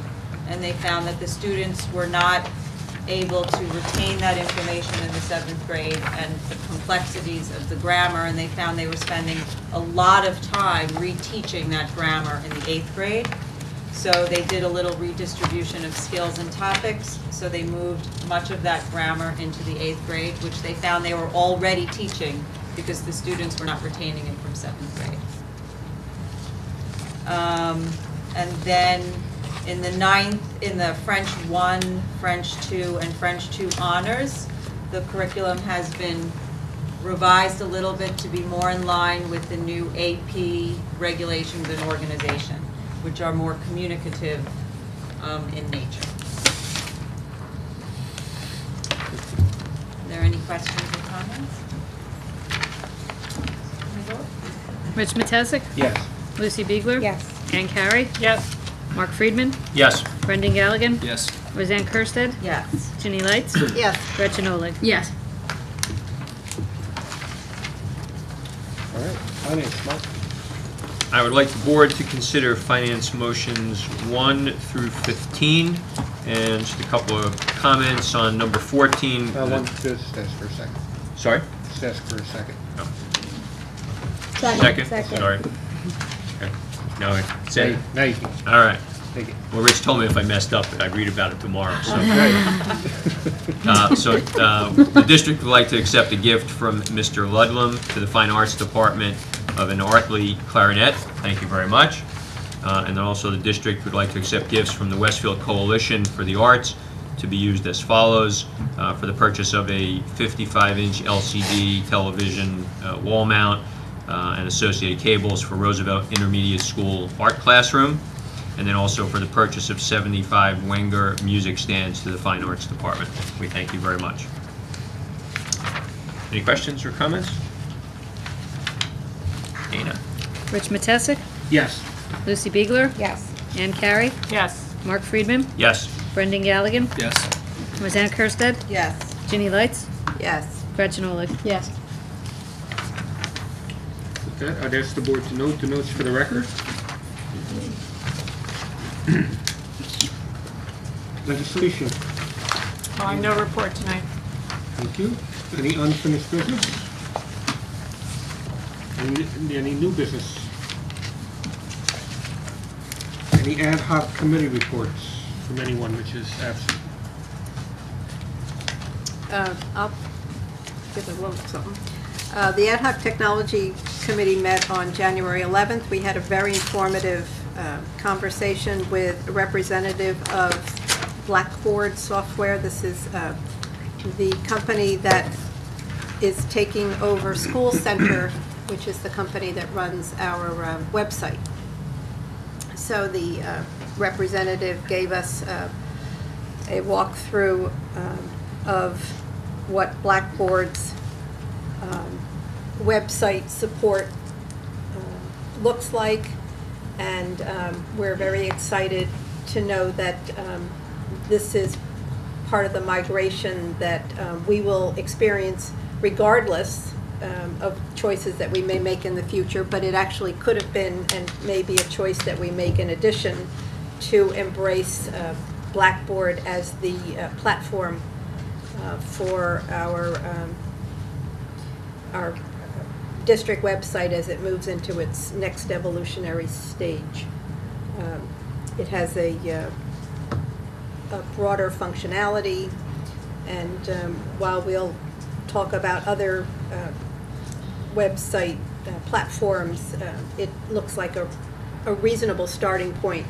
Um, And it's um, to our advantage that School Center, which now is supporting our website, actually is going to transform into this, um, into this new platform. So we're going to keep an eye on that, and we're also, we were talking about um, the security aspect of um, having a website based uh, at off-site servers, so that during um, unforeseen uh, emergency situations or natural disasters, uh, we would not lose um, accessibility to a website.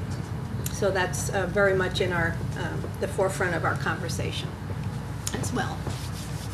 I'd also like to add that some members of the ad hoc Tech- Technology Committee, as well as people in the district, are going to Techspo next week, which is a large conference um, in Atlantic City. And actually, Mitch Slater will be on a panel um, discussing the use of social media in times of emergencies and how that can help your public and your community uh, work together. Great. All right, any other reports? Any liaison reports? You want to give us? Um, sure. On, um, January seventeenth, Ginny and I attended the general, the PTC general meeting. Um, Mike Weissman gave a very thorough presentation about safety and security in the district and steps that are being taken, um, steps that have already been in place for quite a long time, and then it's that how we're expanding on those steps uh, since the tragedy in Newtown. Um, there was um, some discussion, uh, you know, anecdotal discussion about things that are happening in isolated buildings, and um, and I think it was good for everyone to hear that the district is, you know, actively working on trying to come up with some additional solutions to further keep our kids safe. Um, and then I'll just also mention that on the seventh, that later that day, I also attended the Jefferson School PTO meeting where some of similar issues were raised specifically with regard to that school. So I think um, it's really useful for us to get the word out that you know, I I think that people didn't know a lot of what we had. The district had in place that we had a committee that met on a monthly basis and that we have a plan that's reviewed annually and is reviewed by the state. Um, so I think that's really useful information to get out there, but then also to supplement it with what we're doing now, so. And it was tremendously beneficial to have uh, Dr. Weisberg there to um, lead the discussion as he is the um, chairman of the Committee of uh, Safety and Emergency Preparedness, and also to hear the comments that different parents had about the um, situations that they had encountered and/or questions about um, areas of, of security within the schools. One question that they'd asked was um, about our support of um, schools being open on election day. So it was an opportunity to uh, discuss the fact that, uh, Dr. Dolan, you have been asked, uh, have been asking the Board of, County Board of Elections to um, designate different voting places for polling sites than the schools. Right, we've actually, um, I have not sent that letter, by the way, yet, um, but we have determined that there actually is an organization that uh, is asking for that. It's a a movement that is saying it it really is time to change that, um, um, that pattern of holding elections in schools, because there's not just one election day a year. Uh, It's fine to say closed for one day, but there's not. I mean, there are also, there's a primary, you know, and so um, maybe it's a time to look at other places. So yes, I will be sending uh, a draft of a letter to the board and then a letter to the, to the county board of elections. Any other liaison reports? Dr. Dolan and I attended the um, Union County um, School Boards Association meeting on January 9th held at the high school. Um, We heard, um, I'll say a somewhat rambling conversation about school funding um, school finance.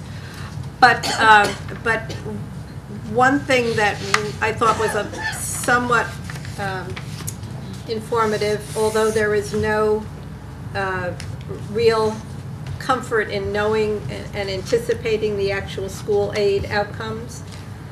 The, uh, the individual that spoke to us, uh, who is immersed in um, Trenton and legislation and uh, the different House and uh, uh, Assembly meetings and budget preparations, did seem to hold some hope that uh, state aid would have uh, some boost to it.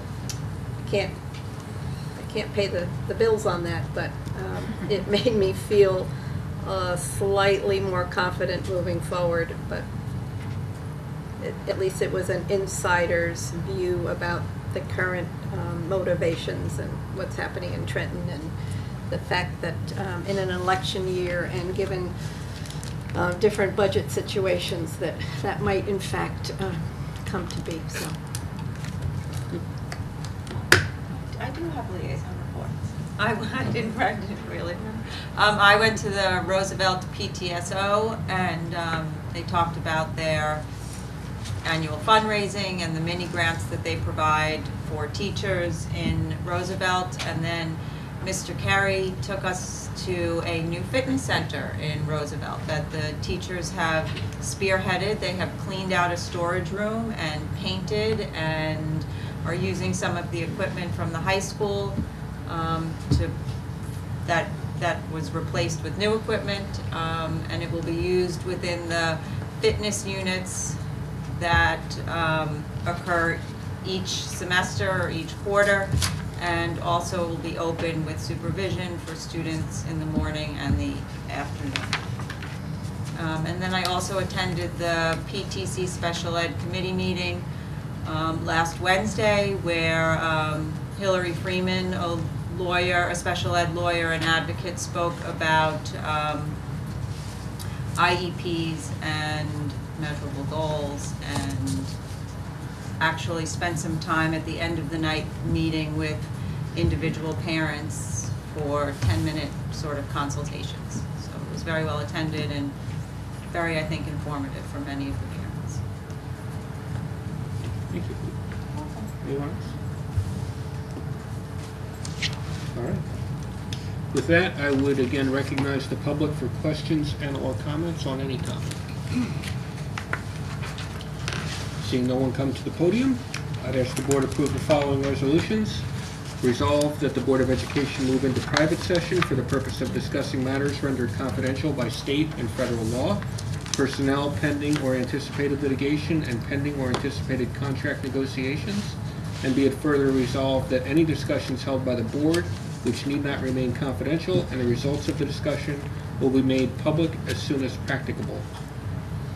Do I have a second? Second. Thank you. All in favor? Aye. Any opposed? Abstained? We are adjourned until we return to public session later this evening. We are returning to public session, right? Or not? No. Uh, Actually, no, I don't, I don't think we'll get there. I don't think we will be. No. We have an executive session, and that is it for the evening. Thank you. Sure.